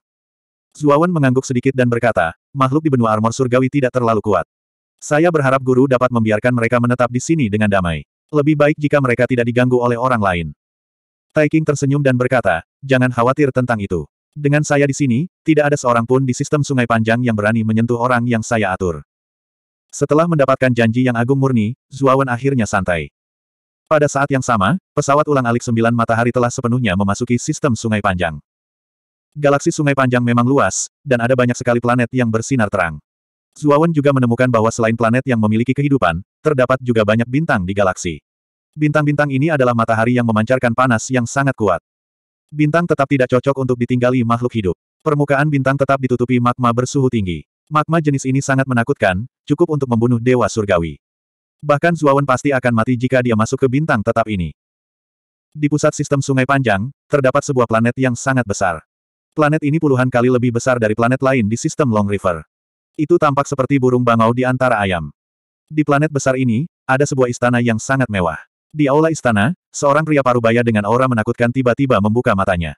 Matanya dipenuhi keterkejutan saat dia dengan cepat terbang keluar dari istana. Di luar planet, pesawat ulang-alik sembilan matahari diam-diam berhenti di atas planet. Yuking meletakkan jimat giok di tangannya dan berkata, saya telah memberitahu orang yang bertanggung jawab atas sistem sungai panjang, Kiki. Dia akan segera tiba. Begitu Yuking selesai berbicara, pria parubaya yang bergegas keluar istana tiba sebelum pesawat ulang-alik sembilan matahari. Dia berlutut di langit berbintang dan berkata dengan suara yang dalam, Kiki menyapa Tuan Yuking dan Tuan Taiking. Saat ini, tubuh Kiki gemetar. Dia sangat gugup. Ketika Yuking mengiriminya pesan, hatinya kacau. Dia sangat terkejut. Yuking dan Tuan Taiking adalah tokoh yang sangat penting di seluruh alam surga Huaxia. Biasanya, orang-orang seperti itu tidak akan peduli dengan galaksi kecil kelas satu seperti ini. Tapi sekarang, tokoh-tokoh penting telah datang ke sistem Long River. Kiki terkejut sekaligus bahagia. Lord Taiking mengangguk dan berkata, Anda adalah orang yang bertanggung jawab atas sistem sungai panjang. Kiki dengan cepat berkata dengan hormat, anak kecil ini adalah penanggung jawab sistem sungai panjang. Perintah apa yang Anda miliki untuk saya? Lord Taiking melambaikan lengan bajunya dan melepaskan Paus Luoyan. Dia berkata kepada Kiki, ini adalah Paus Luoyan. Di dalamnya terdapat dunia kecil. Ada banyak makhluk hidup di dalamnya. Tidak cocok bagi mereka untuk tinggal di dalam paus. Jadi, saya ingin menyerahkannya kepada Anda. Kiki memandang Moyan Wushang dan Si Ji di Paus Luoyan. Ketika dia menyadari bahwa mereka hanyalah setengah dewa dan dewa sejati, dia menjadi bingung. Dengan budidaya dan penglihatan Kiki, dia secara alami dapat melihat aura makhluk hidup di dalam Paus Luoyan. Ia menyadari bahwa aura makhluk hidup di dalamnya sangat lemah. Itu jauh lebih lemah daripada kebanyakan petani di sistem Long River. Meskipun Kiki bingung, dia tidak berani menunjukkan ketidakpuasan apa pun. Dia membungkuk dan berkata dengan hormat, jangan khawatir, Tuhan. Anak kecil ini akan menjaga orang-orang ini dengan baik. Zuawan, yang berdiri di samping Tuan Tai King, tiba-tiba berkata, Dewa sejati Kiki, orang-orang ini adalah keluarga dan teman saya. Saya harap Anda dapat memperlakukan mereka dengan baik. Kiki memandang Zuawan dan bertanya dengan rasa ingin tahu, ini adalah Meskipun Kiki tahu bahwa Zuawan baru berada di tahap awal alam ilahi dan ada aura mematikan yang mengelilinginya, dia tahu bahwa identitas Zuawan luar biasa dari fakta bahwa dia berdiri di samping Tuan Tai King. Oleh karena itu, nada bicara Kiki sopan. Hehe, namanya Zuawan. Dia murid baruku. Semua orang di Paus Luoyan punya hubungan keluarga dengannya. Tuan Tai King memandang Zuawan dalam-dalam dan menjelaskan identitas Zuawan. Dia secara alami tahu bahwa Zuawan tidak sedang berbicara dengan Kiki, tetapi dengan dia. Meskipun orang-orang di Paus Luoyan dipercayakan kepada Kiki oleh Tuan Taiking, Kiki tentu saja tidak akan mengabaikan mereka. Namun, jika orang-orang ini dekat dengan Tuan Tai King, itu akan menjadi jauh lebih penting. Benar saja, Kiki mengungkapkan ekspresi serius ketika dia mendengar penjelasan Kiking, dan dia buru-buru membungkuk kepada Zuo Wen dan berkata, jadi itu Tuan Muda Zuo. Saya tidak tahu identitas Tuan Muda Zuo, jadi mohon maafkan saya. Karena ini orang-orang dekat dengan Tuan Muda, saya pasti tidak akan mengabaikan mereka. Tuan, saya ingin tinggal di Long River Galaxy untuk sementara waktu. Setelah semua orang beres, saya akan pergi bersama Anda. Zuawan memandang Tuan Tai King dan berkata, meskipun dia tidak meragukan ketulusan Kiki, dia tetap khawatir. Mata Lord Tai King berkedip dan dia mengangguk, kalau begitu tinggi dewa di sini selama beberapa hari. Kiki sangat gembira saat mendengar itu. Dia memiliki kesan yang baik terhadap Zuawan. Jika galaksi lain mengetahui bahwa Tuan Tai King dan Tuan Yu King tinggal di galaksi Sungai Panjang selama beberapa hari, reputasinya di galaksi Sungai Panjang akan melambung tinggi. Bagaimana mungkin dia tidak berterima kasih kepada Zuawan? Tuan Zuo, ini adalah planet terbaik di galaksi Sungai Panjang. Bagaimana menurut Anda? Di atas planet yang sangat makmur, Kiki dengan sopan menunjuk ke planet tersebut dan tersenyum pada Zuawan. Setelah Kiki menempatkan Tuan Tai King dan Tuan Yu King di galaksi, dia memilih sebuah planet di galaksi atas permintaan Zuawan. Dengan status Tuan Tai King dan Tuan Yu King, mereka tentu saja tidak akan mengikutinya untuk memilih. Mereka membiarkan Zuawan melakukannya sendiri. Setelah memilih planet ini, mereka berencana membawa Zuawan pergi. Zuawan menggelengkan kepalanya dan berkata, saya tidak membutuhkan planet yang bagus. Saya membutuhkan planet yang relatif terpencil dan lengkap. Kiki memandang Zuawan dengan aneh. Biasanya, ketika memilih sebuah planet, dengan sendirinya seseorang akan memilih yang terbaik. Mengapa Zuawan memilih yang terburuk? Mengesampingkan fakta bahwa Zuowen mendapat dukungan dari Yang Agung Murni dan Yang Murni Giok, fakta bahwa Zuowen adalah murid dari Yang Agung Murni berarti selama dia memilih planet pusat tempat Kiki berada. Kiki tidak akan berani mengeluh dan hanya bisa dengan patuh memberikan planet itu kepada Zuowen. Namun, Kiki tidak terlalu memikirkannya. Dia terus membawa Zuawan ke tepi galaksi. Karena Zuawan menginginkan planet yang lebih terpencil, dia hanya dapat memilih dari tepi galaksi. Setelah mencari setengah hari, Zuawan tiba-tiba berhenti di atas sebuah planet. Ukuran planet ini ternyata sangat mirip dengan planet armor surgawi. Sebagian besar permukaannya berpasir kuning, dan terdapat sedikit oasis. Ada beberapa manusia berpakaian preman yang tinggal di oasis. Di planet ini, ada benua besar yang mengambang. Ada banyak kultivator di benua ini, tapi mereka tidak terlalu kuat. Yang terkuat tidak berada di atas demigod. Ini planetnya, Zuo Wen bertanya sambil tersenyum. Kiki sedikit bingung. Sekalipun planet ini berada di tepi galaksi, namun tetap dianggap relatif miskin. Mengapa Zuawan memilih planet yang miskin? Namun, ini adalah pilihan Zuawan. Kiki tidak banyak bicara. Sebaliknya, dia menginjak tanah dengan kaki kanannya dan berubah menjadi aliran cahaya, memasuki benua di planet ini. Dia siap bernegosiasi dengan para penggarap di benua ini dan membuat mereka menjauh dari planet ini. Alasan Zuawan memilih planet ini secara alami karena terlalu biasa. Biasanya sulit menarik perhatian planet lain. Terlebih lagi, para kultivator di benua armor surgawi tidak memiliki tingkat kultivasi yang tinggi. Planet seperti ini paling cocok untuk mereka tinggali. Jika dia memilih planet yang terlalu makmur, itu bukanlah hal yang baik bagi orang-orang di benua armor surgawi. Mungkin karena identitas Zuawan sebagai murid Lord Tai King, Kiki secara alami tidak akan mengabaikan orang-orang di benua armor surgawi. Namun, Zuawan tahu bahwa dia tidak akan hidup lama. Begitu berita kematiannya menyebar ke galaksi Sungai Panjang, apakah Kiki masih akan memperlakukan orang-orang di benua armor surgawi dengan baik? Dia mungkin tidak akan melakukannya. Pada saat itu, orang-orang di benua armor surgawi akan menjadi terlalu lemah. Namun, mereka menduduki planet yang sangat makmur. Tidak dapat dipungkiri bahwa mereka akan diidam-idamkan oleh planet lain di galaksi. Inilah mengapa Zuawan lebih memilih memilih planet terpencil di tepi galaksi. 1888 Suara mendesing. Luo Yanjing telah mengikuti Zuawan dan Kiki. Ketika Kiki terbang ke benua planet kuning, Luo Yanjing terbang ke sisi Zuawan. Pada saat ini, Moyan Wuxiang dan Si Ji berdiri diam di punggung Luo Yanjing. Di belakang mereka ada Long Xiaotian dan Feng Xiao, yang mewakili orang-orang Ryuka, serta Yuan Hongwen dan prajurit benua lainnya. Moyan Wuxiang terdiam. Tiba-tiba, dia mendatangi Zuawan dan berbisik, apakah kamu benar-benar pergi? Tidak bisakah kamu tinggal? Zuo menggelengkan kepalanya dan berkata, seperti yang Anda lihat, baik Taiking maupun Yuking memiliki status yang sangat tinggi di domain surga Huaxia. Galaksi sungai panjang ini sudah cukup besar, tetapi ini hanya salah satu sudut dari domain surga Huaxia. Karena saya telah diterima sebagai murid oleh Guru Taiking, saya hanya bisa mengikutinya ke inti domain surga. Moyan Wuxiang mengangguk. Dia mengangkat matanya yang indah dan menatap Zuo Wen. Kamu memiliki aura kematian yang kuat. Tai King sangat kuat. Jika kamu mengikutinya, kamu pasti bisa disembuhkan, bukan? Zuo Wen tertegun, dan kemudian dia berkata sambil tersenyum, Jangan khawatir, kekuatan Master Grand Pure Wan sangat luar biasa dan memiliki kemampuan yang hebat. Saya pasti tidak akan mengalami kecelakaan apa pun saat mengikuti di sisinya. Zuawan tidak mengatakan tebakannya. Lagi pula, itu tidak akan ada gunanya baginya atau orang-orang di benua armor surgawi. Zuawan, kami bangga padamu. Tidak peduli apa yang terjadi padamu di masa depan, kami akan datang mengunjungimu. Long Xiaotian berjalan ke arah Zuowen, menepuk pundaknya, dan berkata dengan sungguh-sungguh. Saya harap Anda dapat sering mengunjungi kami. Feng Xiao meraih tangan Zuowen dan berkata dengan lembut, Nak, aku tahu kamu sudah dewasa. Tetapi ketika kamu keluar, kamu harus lebih berhati-hati. Ingatlah untuk menjaga dirimu sendiri. Long Xiaotian dan Feng Xiao tahu bahwa Zuowen akan pergi bersama Taiking. Meski enggan, mereka tidak memaksanya untuk tinggal. Sebaliknya, seperti orang tua biasa yang mengirim putra mereka, mereka terus memberitahu Zuowen beberapa hal sepele. Menatap Feng Xiao yang mengomel, Zuawan merasakan sedikit kehangatan di hatinya. Dalam arti tertentu, Feng Xiao dan Long Xiaotian bukanlah orang tua kandungnya, tetapi secara nama, dalam identitasnya sebagai Zuawan dari benua armor surgawi, mereka memang orang tuanya. Dari kata-kata Feng Xiao dan Long Xiaotian, dia bisa merasakan kekhawatiran yang tidak dapat dipungkiri, yaitu kekhawatiran sebuah keluarga yang tidak dapat dicapai oleh orang luar. Ji melangkah maju dan menepuk bahu Zuawan. Dia tetap diam, tapi Zuawan bisa melihat kesedihan dan kesepian di wajah Ji. Siji sendiri merupakan sosok dari era kuno. Sepuluh ribu tahun yang lalu, dia kehilangan terlalu banyak orang yang dia kenal. Dalam pertempuran terakhir di benua armor surgawi, dia menjadi satu-satunya praktisi seni bela diri kuno yang masih hidup. Bisa dibilang dia agak ketinggalan zaman dengan era ini. Zuawan bisa memahami rasa sakit di hati Siji, tapi dia tidak banyak bicara. Dia hanya menepuk bahu Siji dengan lembut dan saling memandang tanpa berkata apa-apa.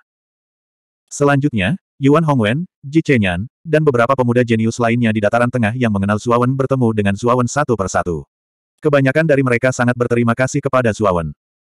Zuawan tidak hanya menyelamatkan semua orang, tetapi dia juga menemukan planet baru untuk mereka. Dapat dikatakan bahwa dia telah melakukan semua yang dia bisa. Suara mendesing. Kiki kembali lagi. Dia tersenyum pada Zuawan dan berkata, Tuan Muda Zuo, para kultivator di planet ini telah sepenuhnya pindah. Tuan Muda dan semua orang sekarang dapat memasuki benua di planet ini. Zuawan memandang sekilas ke benua yang terapung di planet ini dan menemukan bahwa memang tidak ada pembudidaya di sana. Di tengah benua, ada seberkas cahaya yang sangat besar. Sinar cahaya itu seharusnya merupakan susunan teleportasi, dan para pembudidaya di benua ini seharusnya telah diteleportasi oleh sinar cahaya tersebut. Terima kasih, Senior Ki. Zuawan menangkupkan tinjunya dan berkata. Kiki melambaikan tangannya dan berkata sambil tersenyum, Tuan Muda Zuo terlalu sopan. Sekarang, semuanya, mari kita masuk ke benua dulu. Selain itu, benua dan planet ini saat ini tidak memiliki pemilik. Tuan Muda Zuo dapat menyebutkan namanya. Jika waktunya tiba, planet ini akan menjadi milik pribadi Tuan Muda Zuo. Tak seorang pun di galaksi akan berani menyentuh planet ini. Zuawan menangkupkan tinjunya lagi dan berkata dengan emosi, planet ini akan disebut planet armor surgawi, dan benua ini akan disebut benua armor surgawi. Planet armor surgawi, benua armor surgawi, Kiki bergumam dengan suara rendah. Lalu, dia memuji, Tuan Muda Zuo, itu nama yang bagus. Zuo Wen tersenyum tipis, mengabaikan sanjungan Kiki yang jelas. Dia berkata, Senior Ki, mari kita bicara setelah kita memasuki benua ini. Mendengar ini, Kiki mengangguk dan memimpin semua orang ke pedalaman benua. Saat mereka memasuki benua itu, semua orang bisa merasakan bahwa benua itu mengandung banyak sekali ki abadi. Ki abadi di benua ini sangat kaya. Itu sebanding dengan benua armor surgawi di zaman kuno. Berkultivasi di benua yang penuh dengan ki abadi ini telah mempermudah banyak pejuang di benua armor surgawi untuk maju ke tahap malaikat. Bagaimanapun, ada perbedaan besar antara vitalitas dan ki abadi. Energi ki abadi jauh lebih tinggi daripada energi vitalitas. Mata semua orang dipenuhi kegembiraan saat mereka memasuki benua itu. Tanpa diragukan lagi, benua ini jauh lebih baik daripada benua armor surgawi. Kiki memandang kerumunan yang bersemangat itu dengan heran. Ki abadi di benua ini hanya rata-rata di galaksi sungai panjang. Dia awalnya khawatir Zuawan akan merasa tidak puas. Sekarang dia melihat kegembiraan di wajah orang-orang di benua armor surgawi, kekhawatiran di hatinya menghilang. Tentu saja, jika Kiki mengetahui lingkungan benua armor surgawi, dia akan mengerti mengapa semua orang begitu bersemangat. Setelah Kiki memberikan pengenalan sederhana tentang benua itu, dia diusir oleh Zuawan. Mulai sekarang, ini akan menjadi benua armor surgawi yang baru. Berdiri di gunung yang tinggi, Zuawan melihat ke bawah ke daratan yang luas dan merasakan rasa kepahlawanan di hatinya. Pada saat ini, orang-orang di benua armor surgawi tersebar di seluruh benua, bersiap untuk mengatur kembali kekuatan dan pasukan mereka. Ryuka adalah kekuatan di belakang Zuawan, jadi mereka memiliki lokasi dan sumber daya terbaik di benua ini. Tidak ada seorang pun yang merasa tidak puas karena hal ini. Sebaliknya, mereka merasa hal itu wajar. Bagaimanapun, semua ini karena Zuawan. Dapat dikatakan karena Zuawan mereka memiliki kualifikasi untuk hidup di benua subur ini. Moyan Wuxiang berdiri diam di belakang Zuawan. Dia diam-diam menatap punggung Zuawan. Dia tidak tahu kenapa, tapi ketika dia melihat ke belakang di depannya, dia merasa sangat nyaman. Bahkan jika dia harus berdiri di belakang Zuawan dan melihat punggungnya, dia bersedia melakukannya. Angin bersiul dan meniup rambut panjang Zuawan. Kemudian, Zuawan mengeluarkan pentameter berdarah dan dengan lembut membelai pola di permukaannya. Suara mendesing. Cahaya hitam mengalir di sekitar pentameter berdarah, dan kemudian bayangan seekor anjing Xiao Hei muncul. Anjing hitam kecil itu menggosok lengannya dengan cakarnya dengan cara yang sangat mirip manusia. Ia memandang Zuo Wen dengan ekspresi aneh dan meraung, mengapa kamu begitu lembek? Kamu membuatku merinding. Biar ku beritahu, aku tidak punya fetis seperti itu. Kepala Zuo Wen dipenuhi garis-garis hitam ketika dia melihat Xiao Hei mengatakan hal yang tidak masuk akal tanpa mengubah sifatnya. Namun, dia segera tertawa terbahak-bahak, tertawa terbahak-bahak. Nak, ada apa denganmu? Xiao Hei sangat tidak puas. Menurutku itu bagus. Xiao Hei, baguslah kamu masih hidup. Zuawan mengulurkan tangan kanannya dan dengan lembut menepuk kepala Xiao Hei. Xiao Hei menatap kosong ke arah Zuawan. Kemudian, ia menyilangkan cakarnya dan memalingkan wajahnya, kenapa kamu tiba-tiba jadi lembek? Haha, aku senang saja. Bisakah kamu memberitahuku kenapa kamu tiba-tiba menyatu dengan pentameter berdarah? Dan di mana Cheng Huang? Zuawan menepuk kepalanya dan bertanya. Wajah Xiao Hei tenggelam dan menghela nafas, alasan aku tidak mati sebenarnya berkat rubah tua itu, Cheng Huang. Saat kami berdua memasuki pentameter berdarah, Cheng Huang tiba-tiba menggunakan kekuatan fuksi cauldron untuk secara paksa mengubahku menjadi roh artefak pada saat terakhir. Lalu, Aku menyatu ke dalam pentameter berdarah. Zuawan tercengang dan hatinya tenggelam. Dia tahu bahwa Cheng Huang adalah roh artefak dari kuali fuksi, jadi tidak aneh jika dia mengetahui teknik rahasia untuk memurnikan roh artefak. Orang itu benar-benar bodoh. Dia jelas bisa langsung menjadi roh artefak pentameter berdarah dan menghindari bencana, tapi dia tidak melakukannya. Sebaliknya, dia memberikan kesempatan kepadaku. Bodoh sekali, mata Xiao Hei memerah saat dia berbicara. Zuawan menepuk kepala Xiao Hei tapi tidak berkata apa-apa. Dia tahu bahwa Cheng Huang telah mengorbankan dirinya untuk menyelamatkan Xiao Hei. Meski Xiao Hei dan Cheng Huang biasanya bertengkar, keduanya sangat dekat. Mereka bisa dianggap teman buruk di bumi pada kehidupan sebelumnya. Dengan pengorbanan Cheng Huang, tidak dapat dihindari bahwa Xiao Hei akan mengalami depresi. Zuawan tidak tahu harus berkata apa dan hanya bisa diam. Ini adalah benua armor surgawi yang baru.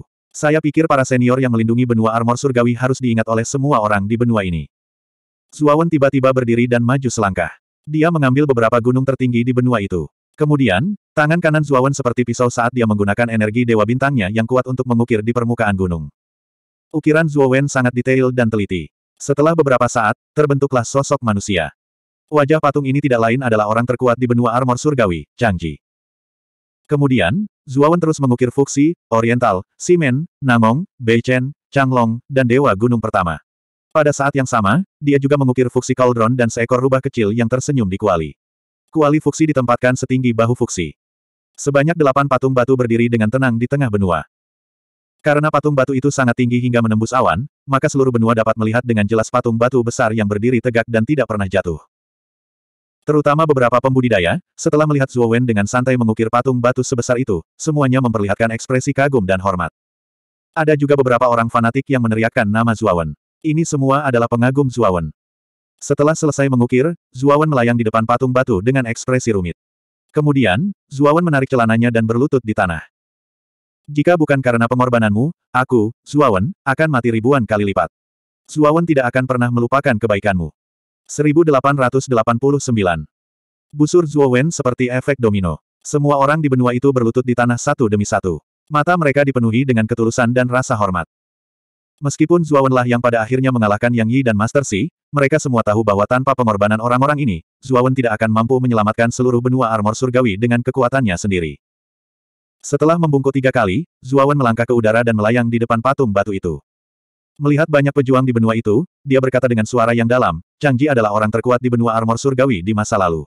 Sepuluh ribu tahun yang lalu, dia membalikkan keadaan dan menekan Dewa Langit untuk menyelamatkan seluruh alam surgawi. Benua armor. Sepuluh ribu tahun kemudian, bencana terjadi lagi. Dengan tubuhnya yang hancur, dia menyerahkan kekuatannya kepadaku dan mengatur banyak rencana rahasia. Meskipun dia dilahap oleh Guru Si, kami tidak berani melupakan kontribusinya. Fuxi, Dongfang, Simen, Bei Chen, dan Nangong, empat dewa sejati, untuk menahan Yang Yi, mereka tidak ragu-ragu meledakkan diri untuk memberi waktu bagi kita untuk melarikan diri. Dan dia adalah pendeta Tao Changlong dan Dewa Gunung Pertama. Mereka adalah orang yang sama. Untuk mengalahkan Yang Yi, mereka mengorbankan diri mereka untuk membantuku membentuk jiwa ilahi dan menjadi Dewa Langit. Pada akhirnya, aku bisa melakukannya kalahkan Yang Yi. Kata-kata Zuawan berapi-api dan penuh emosi. Penyakit itu sangat menular. Hanya dalam beberapa kalimat, dia menceritakan perbuatan tragis Changji, Fuxi, Tao Changlong, dan lainnya, yang mempengaruhi banyak pejuang di benua itu. Di sebuah lembah di sudut paling terpencil di benua itu, Si Ji berjalan perlahan. Dia dalam keadaan linglung, seperti mayat berjalan. Tiba-tiba, dia mengangkat kepalanya dan melihat patung batu Changji, Fuxi, dan lainnya yang diukir Zuawan. Terutama ketika dia mendengar narasi Zuawan yang penuh gairah, tatapannya menjadi sangat rumit. Namun, dia segera mengungkapkan ekspresi puas. Setelah sepuluh ribu tahun, saya sudah merasa lelah. Terima kasih, Zuawan. Jika bukan karena Anda, semua orang di benua armor surgawi akan mati secara tidak wajar. Siji bergumam dengan suara rendah. Segera setelah itu, dia diam-diam memasuki kedalaman lembah. Sepuluh ribu tahun menetap telah menyebabkan Siji merasa sangat lelah. Ia memutuskan untuk hidup mengasingkan diri dan tidak lagi menyibukkan diri dengan urusan dunia. Di depan patung batu itu, Zuawan sepertinya merasakan sesuatu. Dia melirik ke lembah pegunungan tempat Siji berada dan bertukar pandang dengan Siji dari jauh. Dia tidak mengatakan apa pun dan hanya mengangguk pada Siji. Siji juga mengangguk kembali dengan ringan. Meski keduanya tidak berbicara, mereka memahami niat satu sama lain. Zuawan melihat lagi patung batu Changji, Fuxi dan lainnya. Dia berbisik pada dirinya sendiri, meskipun Yang Yi sudah mati, dia hanyalah kembaran Sakyamuni. Jika aku, Zuawan, naik ke langit virtual suatu hari nanti, aku pasti akan membunuh Sakyamuni dan mengorbankan Sakyamuni untukmu. Pada periode waktu berikutnya, Zuo tetap berada di benua armor surgawi yang baru. Selama kurun waktu tersebut, ia kerap menghabiskan waktu bersama orang tua, kakek, dan kerabat lainnya. Ia juga sering mengunjungi Moyan Wuxiang, Yuan Hongwen, dan lainnya. Meskipun semua orang rukun dan bahagia, ada sedikit kesedihan dalam kebahagiaan ini. Mereka semua tahu bahwa Zuawan tidak akan tinggal lama di benua ini. Setelah beberapa saat, Zuawan akan dipanggil oleh Tai King dan meninggalkan galaksi Sungai Panjang. Pada hari ini, matahari bersinar terang. Di halaman yang luas, Zuawan, Long Xiaotian, Feng Xiao, Long Xiangding dan anggota klan Ryuka lainnya sedang duduk bersama. Moyan Wuxiang duduk tidak jauh dari Zuawan dan diam-diam menatap Zuawan. Zuawan mengobrol dan tertawa bersama semua orang. Semua orang tertawa dari waktu ke waktu. Itu adalah pemandangan yang harmonis. Tiba-tiba, wajah Zuawan berubah sedikit dan matanya menjadi suram. Ketika semua orang melihat ekspresi Zuawan, senyuman di wajah mereka membeku. Zuawan berdiri diam dan menangkupkan tinjunya ke semua orang. Dia berkata, semuanya, saya harus pergi. Nak, berhati-hatilah sepanjang jalan. Ayah dan ibu tidak cukup kuat untuk melindungimu. Di masa depan, semuanya akan bergantung padamu. Jika kamu punya kesempatan, kembalilah lebih sering. Long Xiaotian dan Feng Xiao berdiri dan menghela nafas. Orang-orang lainnya juga berdiri. Meskipun mereka sangat enggan, mereka juga tahu bahwa orang yang membawa pergi Zuawan kali ini adalah Tai King yang agung. Moyan Wuxiang menggigit bibir bawahnya dan berdiri. Matanya yang indah menatap Zuawan dan berkata, Zuawan, maukah kamu kembali? Zuawan menoleh untuk melihat Moyan Wuxiang dan berkata sambil tersenyum, ya, saya pasti akan kembali. Mendengar ini, Moyan Wuxiang tersenyum dan berkata dengan suara rendah, bagus. Saya akan menunggumu kembali. Mata Zuawan menunjukkan sedikit keraguan. Dia berbalik dan menghadap Moyan Wuxiang di depannya. Dia menemukan bahwa sudut mata Moyan Wuxiang tanpa sadar telah berkaca-kaca. Bang! Tiba-tiba, Zuawan merasakan angin yang harum. Kemudian, Moyan Wuxiang melemparkan dirinya ke dalam pelukannya. Kamu harus kembali. Kami semua menunggumu di sini. Suara muda dan tidak berpengalaman perlahan terdengar di telinga Zuowen. Segera setelah itu, wangi angin tiba-tiba meninggalkan pelukannya. Zuowen diam-diam menatap Moyan Wuxiang yang pergi. Matanya menunjukkan sentuhan kesedihan. Dalam benaknya, sosok Mu Cheng Sui muncul. Gadis kecil ini mempunyai perasaan yang mendalam padamu. Tidak bisakah kamu merasakannya? Suara Xiao Hei perlahan terdengar. Zuawan menjawab sambil tersenyum masam, saya tidak buta. Bagaimana mungkin saya tidak melihatnya? Tapi sekarang, aku hanya ingin mengeluarkan cincin spiritualku dari tubuh Devor. Mari kita bicarakan hal lain nanti. Terlebih lagi, Tai King tidak terduga. Saya tidak bisa menebak apa yang dia pikirkan. Xiao Hei terdiam. Kemudian, dia melanjutkan, tubuh Devor telah melarikan diri ke kedalaman langit berbintang. Bahkan Yu King tidak dapat menemukannya. Bagaimana cara menemukannya? Kecuali Anda menggunakan pil pengganti darah untuk terlahir kembali di cincin spiritual. Tapi itu hanya mencari kematianmu sendiri. Mata Zuawan tenang. Ia berkata, itulah yang sedang kupikirkan. Kali ini, aku akan mengikuti Tai King ke wilayah surgawi Huaxia.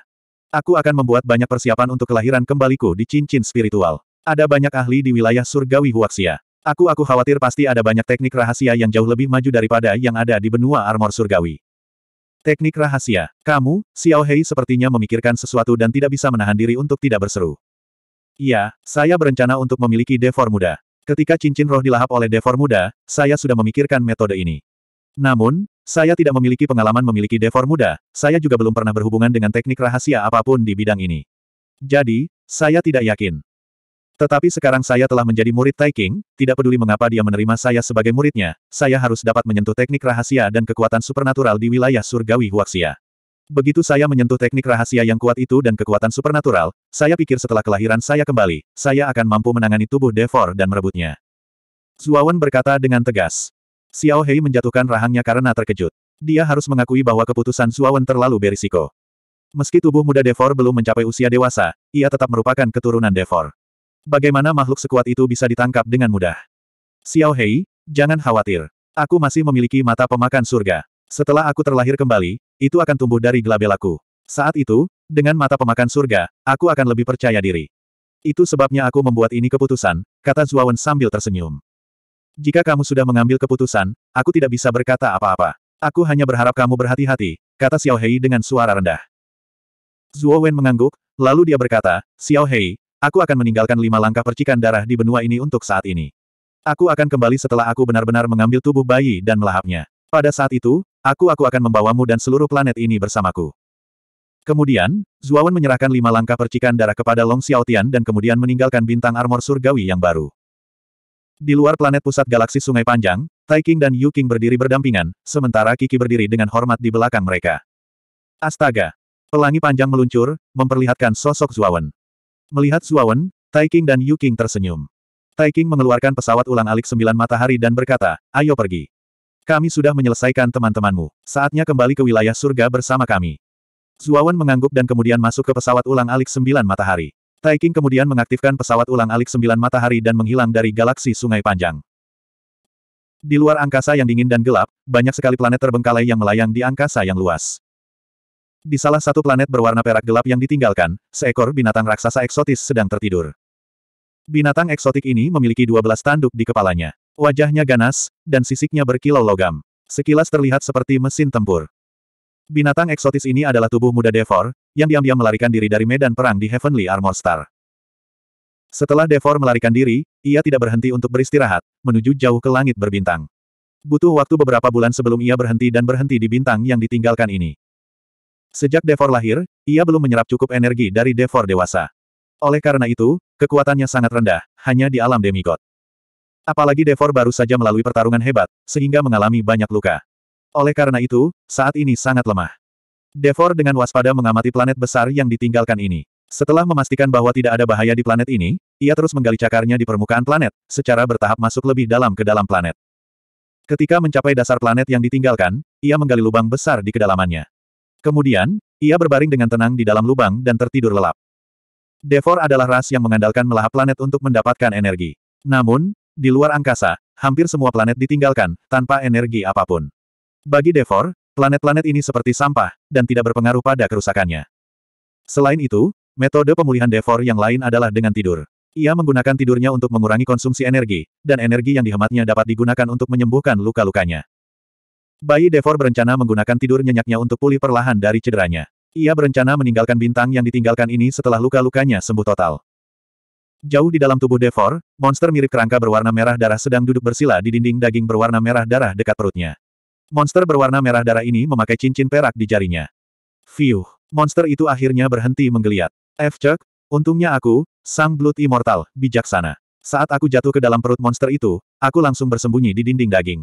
Kalau tidak, Aku akan dicerna oleh monster itu. 1890. Awalnya, tubuh Infan Devor tidak cocok untuk ditinggali oleh prajurit normal. Biasanya, prajurit yang ditelan ke dalam tubuhnya akan terkorosi oleh energi darahnya yang kuat, dan planet yang ditelan ke dalam tubuhnya akan dibawa ke ruang lain yang serupa. Ke langit berbintang. Setelah Blood Immortal ditelan ke dalam tubuh Baby Devor, dia secara alami dianggap sebagai makanan, dan dikirim ke perutnya. Awalnya, energi darah yang kuat di tubuh Devor sudah cukup untuk membunuh sebagian besar makhluk. Tapi darah abadi berbeda. Dia mengolah energi darah, dan setelah memasuki tubuh Baby Devor, dia tidak hanya merasa tidak nyaman, tetapi kultivasinya juga meningkat, dan dia langsung menjadi Dewa Langit. Energi darah yang melonjak di tubuh Baby Devor terlalu cocok untuk ditinggali oleh Blood Immortal, tapi itu hanya terbatas pada dinding daging yang dia temukan.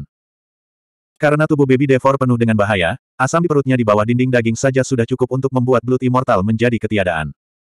Dan sebelum Baby Devor tertidur, dinding dagingnya terus menggeliat, yang membuat Blood Immortal sangat menderita. Sekarang setelah gerakan menggeliat itu akhirnya berhenti, Blood Immortal menghela nafas lega. Berapa lama lagi aku harus tinggal di tempat terkutuk ini, sepi sekali. Blood Immortal menggaruk kepalanya karena kesal. Meskipun kekuatan darah di sini memang cocok untuk dia kembangkan, dan itu juga meningkatkan kecepatan kultivasinya, Blood Immortal sudah kesal dengan kenyataan bahwa dia hanya bisa tinggal di tempat kecil ini selama beberapa bulan. Sialan, aku seharusnya tidak setuju untuk menyimpan cincin roh Zuawan. Sekarang aku dalam keadaan ini, itu semua karena Zuawan itu. Blood Immortal meraih cincin roh di tangannya, dan hendak membuangnya, tapi pada akhirnya dia tidak melakukannya. Sial, kenapa Zuawan belum mati? Ketika dia mati, dia bisa terlahir kembali di cincin roh ini, dan kemudian aku bisa memiliki seseorang untuk diajak bicara. Tidak, aku tidak bisa membuang cincin roh ini, aku harus membuangnya. Biarkan orang itu merasakan lingkungan keras di dalam tubuh Infan Devor. Menyingkirkan cincin roh lagi, Dewa Darah duduk bersila di dinding daging dengan marah untuk mengolah energi darahnya, dan pada saat yang sama, dia berharap Zuawan akan segera mati dan terlahir kembali. Galaksi yang tak terhitung jumlahnya bergerak di bawah pesawat ulang-alik sembilan matahari. Zuawan berdiri di geladak, diam-diam memandangi galaksi tak berujung di bawah pesawat ulang-alik, dan dia tidak merasakan keterkejutan dan keingintahuan seperti pada awalnya. Sepanjang perjalanan, dia telah melihat terlalu banyak galaksi. Kini, dia tidak lagi tertarik dengan galaksi yang dia lewati. Namun, luasnya wilayah surga berada di luar jangkauan Zuawan. Dengan pesawat ulang-alik sembilan matahari, mereka masih belum mencapai pusat langit Taiking dan yang lainnya. Adapun bagaimana yang Agung Murni dan yang Murni Giok hanya menghabiskan sedikit waktu untuk mencapai luar angkasa, itu wajar karena mereka telah menggunakan warp dengan seluruh kekuatan mereka. Tadi, milik Yu, adalah Tayan Yuking dan Yuking adalah Yu Yu, S Yuan dan Yu Wastat, Tu dan Yu Tu Was Yu Yu, Was N Yu Spaces dan Yu To Tu Yu Tu Tu Yu Tu Tu Tu Tu Yu Tu Yu. T, S. Tidak, S ke, S ke. Zuo Wen mengangkat kelopak matanya dan tiba-tiba melihat tiga wilayah bintang besar di depan pesawat ulang-alik sembilan matahari di kejauhan. Ketiga domain bintang ini terdiri dari galaksi yang tak terhitung jumlahnya, dan pemandangan ini mengejutkan Suawan. Sepanjang perjalanan, dia hanya melihat satu galaksi saja. Apalagi jarak antar galaksi cukup jauh. Namun, tiga domain bintang di depannya berbeda. Setiap star domain terdiri dari galaksi yang berbeda, dan bintang yang tak terhitung jumlahnya berkelap-kelip, menghiasi kompleksitas dan keunikan star domain ini. Ketiga domain bintang ini memiliki penampakan yang berbeda-beda, dan salah satunya terdiri dari galaksi yang tak terhitung jumlahnya yang membentuk istana surgawi yang sangat besar. Istana surgawi yang besar ini mengeluarkan tekanan yang tak terbayangkan. Bidang bintang lainnya seluruhnya berwarna merah, dan sebagian besar bintang di bidang bintang ini adalah bintang yang memancarkan panas yang mengerikan. Dibandingkan dengan jumlah bintang yang mengerikan, jumlah planet yang memiliki kehidupan di bidang bintang ini jauh lebih sedikit. Mereka hanya menempati sekitar sepertiga dari total bidang bintang. Terlebih lagi, ketika sistem bintang ini dikelompokkan, bentuknya seperti tanah merah. Di tanah merah tua ini, api menyala tanpa henti. Star Domain terakhir terdiri dari galaksi yang tak terhitung jumlahnya yang terdiri dari planet-planet yang memiliki kehidupan. Penampakannya seperti kabut, seolah dikelilingi awan dan kabut. Itu seperti surga di bumi, indah dan megah. Ketiga domain bintang ini sepertinya disatukan, padahal sebenarnya tidak. Mereka disusun dalam segitiga dalam tiga arah dan saling melengkapi. Ini. Zuawan memandang ketiga domain bintang ini dengan kaget, dan jantungnya berdebar kencang. Ini adalah pertama kalinya dia melihat Star Domain yang begitu megah. Tai King melirik ke arah Zuawan dan berkata sambil tersenyum, Zuawan, ketiga wilayah bintang ini adalah tempat tiga yang murni dari Taoisme berada. Istana surgawi yang besar disebut Istana Surgawi King Wei, dan itu adalah wilayah Yuking. Dan wilayah bintang yang seperti tanah tandus itu adalah wilayah Primeklir. Itu disebut Primeklir Barenland. Primeklir terobsesi dengan pemurnian senjata, jadi ada banyak jenis bintang di wilayah mereka. Mereka menggunakan panas yang kuat dari bintang-bintang untuk menempas senjata yang ampuh. Adapun wilayah bintang terakhir, itu adalah tempat tinggalku, dan disebut alam surgawi Taiking. Hanya ketika dia mendengar ini, Zuo Wen mengetahui bahwa ketiga wilayah ini sebenarnya adalah kediaman Sekte Sky Dao, Sekte Jade Dao, dan Sekte Prime Dao yang belum pernah dia temui. Zuo Wen telah mendengar tentang tiga yang murni dalam legenda di kehidupan sebelumnya. Tiga yang murni adalah nenek moyang Taoisme, dan mereka adalah penguasa surgawi Yuking Yuanshi, penguasa surgawi Taiking Daode, dan penguasa surgawi Sangqing Lingbao. Dapat dikatakan bahwa tiga yang murni sangat terkenal di bumi pada kehidupan sebelumnya, dan mereka pernah dinobatkan sebagai dewa tertinggi oleh orang dahulu. Sekarang, Zuawan melihat Yuking dan Taiking dari tiga yang murni dengan matanya sendiri. Dapat dikatakan bahwa ini tidak dapat dipercaya dalam kehidupan sebelumnya, tetapi sekarang, hati Zuawan tenang seperti air, dan dia tidak sedih atau bahagia. Tuan, saya ingin pergi ke kampung halaman saya sebelumnya, bumi, dan melihatnya. Zuawan tiba-tiba melihat ke arah Taiking. Tai King menatap Zuawan dalam-dalam dan berkata dengan acuh tak acuh, Zuawan, meskipun akulah yang memfasilitasi transmigrasimu, kematianmu bukan disebabkan olehku. Hanya dapat dikatakan bahwa kamu kebetulan memiliki fuksi cauldron pada waktu itu, dan kamu diburu sampai mati. Pada saat itu, aku kebetulan membutuhkan seorang kandidat, jadi aku memindahkan jiwamu ke benua armor surgawi. Zuawan memandang Tai King dengan heran. Berdasarkan pemahamannya tentang Tai King, Tai King jarang menjelaskan apa yang dia lakukan, tetapi orang ini justru berinisiatif untuk menjelaskan kepada Zuawan, yang benar-benar membingungkan Yu King. Zuawan mengangguk dan berkata dengan suara yang dalam, Guru, jangan khawatir. Saya tahu ini. Saya kembali ke bumi kali ini untuk bertemu teman-teman lama dan keluarga saya dari kehidupan saya sebelumnya, untuk menyelesaikan sisa pikiran terakhir saya, dan juga untuk membalas dendam atas pembunuhanku sebelumnya, sehingga pikiranku bisa jernih. Tai King terdiam sesaat, lalu dia mengerutkan kening dan berkata, bumi adalah dunia fana di bawah yurisdiksi benua Huaxia. Selain pengelola dunia fana, penggarap lain tidak diizinkan masuk. Saya tahu guru pasti punya cara. Zuawan menatap Tai King. Bumi dan rekannya, benua Huaxia, berada di Taiking Wonderland Starfield milikku. Jika kamu ingin memasuki bumi untuk menyelesaikan sisa pikiranmu, itu bukan tidak mungkin, tapi sebelum itu, aku perlu mendiskusikan sesuatu denganmu. Taiking tiba-tiba berkata. Mata Zuawan menyipit, dan dia merasa sedikit tidak nyaman. Dia bertanya, ada apa? Taiking tersenyum misterius dan berkata, kami akan membicarakan hal ini ketika Anda kembali dari bumi. Kemudian, Taiking melihat ke arah Yuking dan berkata, Yuking, apakah kamu ingin datang ke Taiking Wonderlandku? Saya tidak bisa meminta lebih banyak lagi. Yu King tertawa. Tai King mengangguk dan berkata, kalau begitu mari kita masuk ke Tai King Wonderland dulu. Zuawan, apakah kamu akan pergi ke bumi sekarang? Zuawan masih mengangguk. Tai King tidak membuang waktu dan memimpin. Di bawah bimbingan pesawat ulang-alik sembilan matahari, kelompok itu langsung memasuki negeri ajaib Tai King. Pesawat ulang-alik sembilan matahari sangat cepat, dan mereka langsung sampai di sebuah planet yang tampak seperti permata biru. Mata Zuawan tertuju pada planet biru, dan dia sedikit tergerak, tetapi dia dengan cepat mendapatkan kembali ketenangannya. Kemudian, matanya menoleh sedikit dan mendarat di sebuah benua yang mengambang di atas bumi. Ketika dia pertama kali memahami kehendak Dao, kesadaran surgawinya telah turun ke bumi ketika dia menelusuri asal-usulnya. Pada saat itu, budidayanya tidak tinggi, jadi dia tidak bisa melihat menembus batasan di permukaan benua Huaxia. Namun sekarang, budidayanya telah mencapai tahap awal alam dewa surgawi, sehingga ia dapat dengan mudah melihat benua Huaxia. Suara mendesing. Saat pesawat ulang-alik sembilan matahari tiba di luar bumi, cahaya pedang yang tak terhitung jumlahnya tiba-tiba menyapu benua Huaxia. Setelah diperiksa lebih dekat, lampu pedang ini sebenarnya adalah sekelompok pembudidaya yang terbang dengan pedang terbang. Pemimpin kelompok pembudidaya ini adalah seorang lelaki tua dengan rambut dan janggut putih. Di antara kelompok pembudidaya ini, Zuawan bahkan melihat pria parubaya berkulit putih yang terbang dengan pedang ketika kesadaran ilahi turun ke bumi. Pria parubaya ini mengikuti di belakangnya dengan hormat. Meskipun dia juga melihat Zuawan, dia tidak mengenali Zuawan. Bagaimanapun, Zuawan hanya turun dengan kesadaran ilahi, dan dia sendiri belum tiba di bumi. Bagaimana pria parubaya ini bisa mengenali Zuawan? Master Sekte Gunung Busu, Yu Ze, menyapa supremasi Tai King dan supremasi Yu King. Orang tua berambut putih itu maju ke depan, membungkuk, dan berkata dengan keras. Banyak kultivator di belakang lelaki tua itu juga memberikan penghormatan kepada Tai King dan Yu King. Tai King mengangguk sedikit, lalu menunjuk ke arah Zuawan di sampingnya dan berkata, Yuze, ini muridku, Zuawan. Dia memiliki beberapa urusan yang harus diurus di bumi. Saya harap kamu dapat mengizinkannya masuk sebentar. Yuze sedikit mengernyit. Dia melirik Zuowen, yang berada di samping Tai King, dengan tatapan serius di matanya. Mampu menjadi murid dari keberadaan seperti Tai King, dia secara alami tidak berani gegabah, tetapi dia segera terlihat bermasalah. Supremasi, muridmu sudah menjadi dewa surgawi. Jika dia memasuki bumi dengan budidaya seperti itu, dia akan dilahap oleh hukum bumi. Dia tidak dikenali oleh bumi. Yuze berkata dengan suara yang dalam.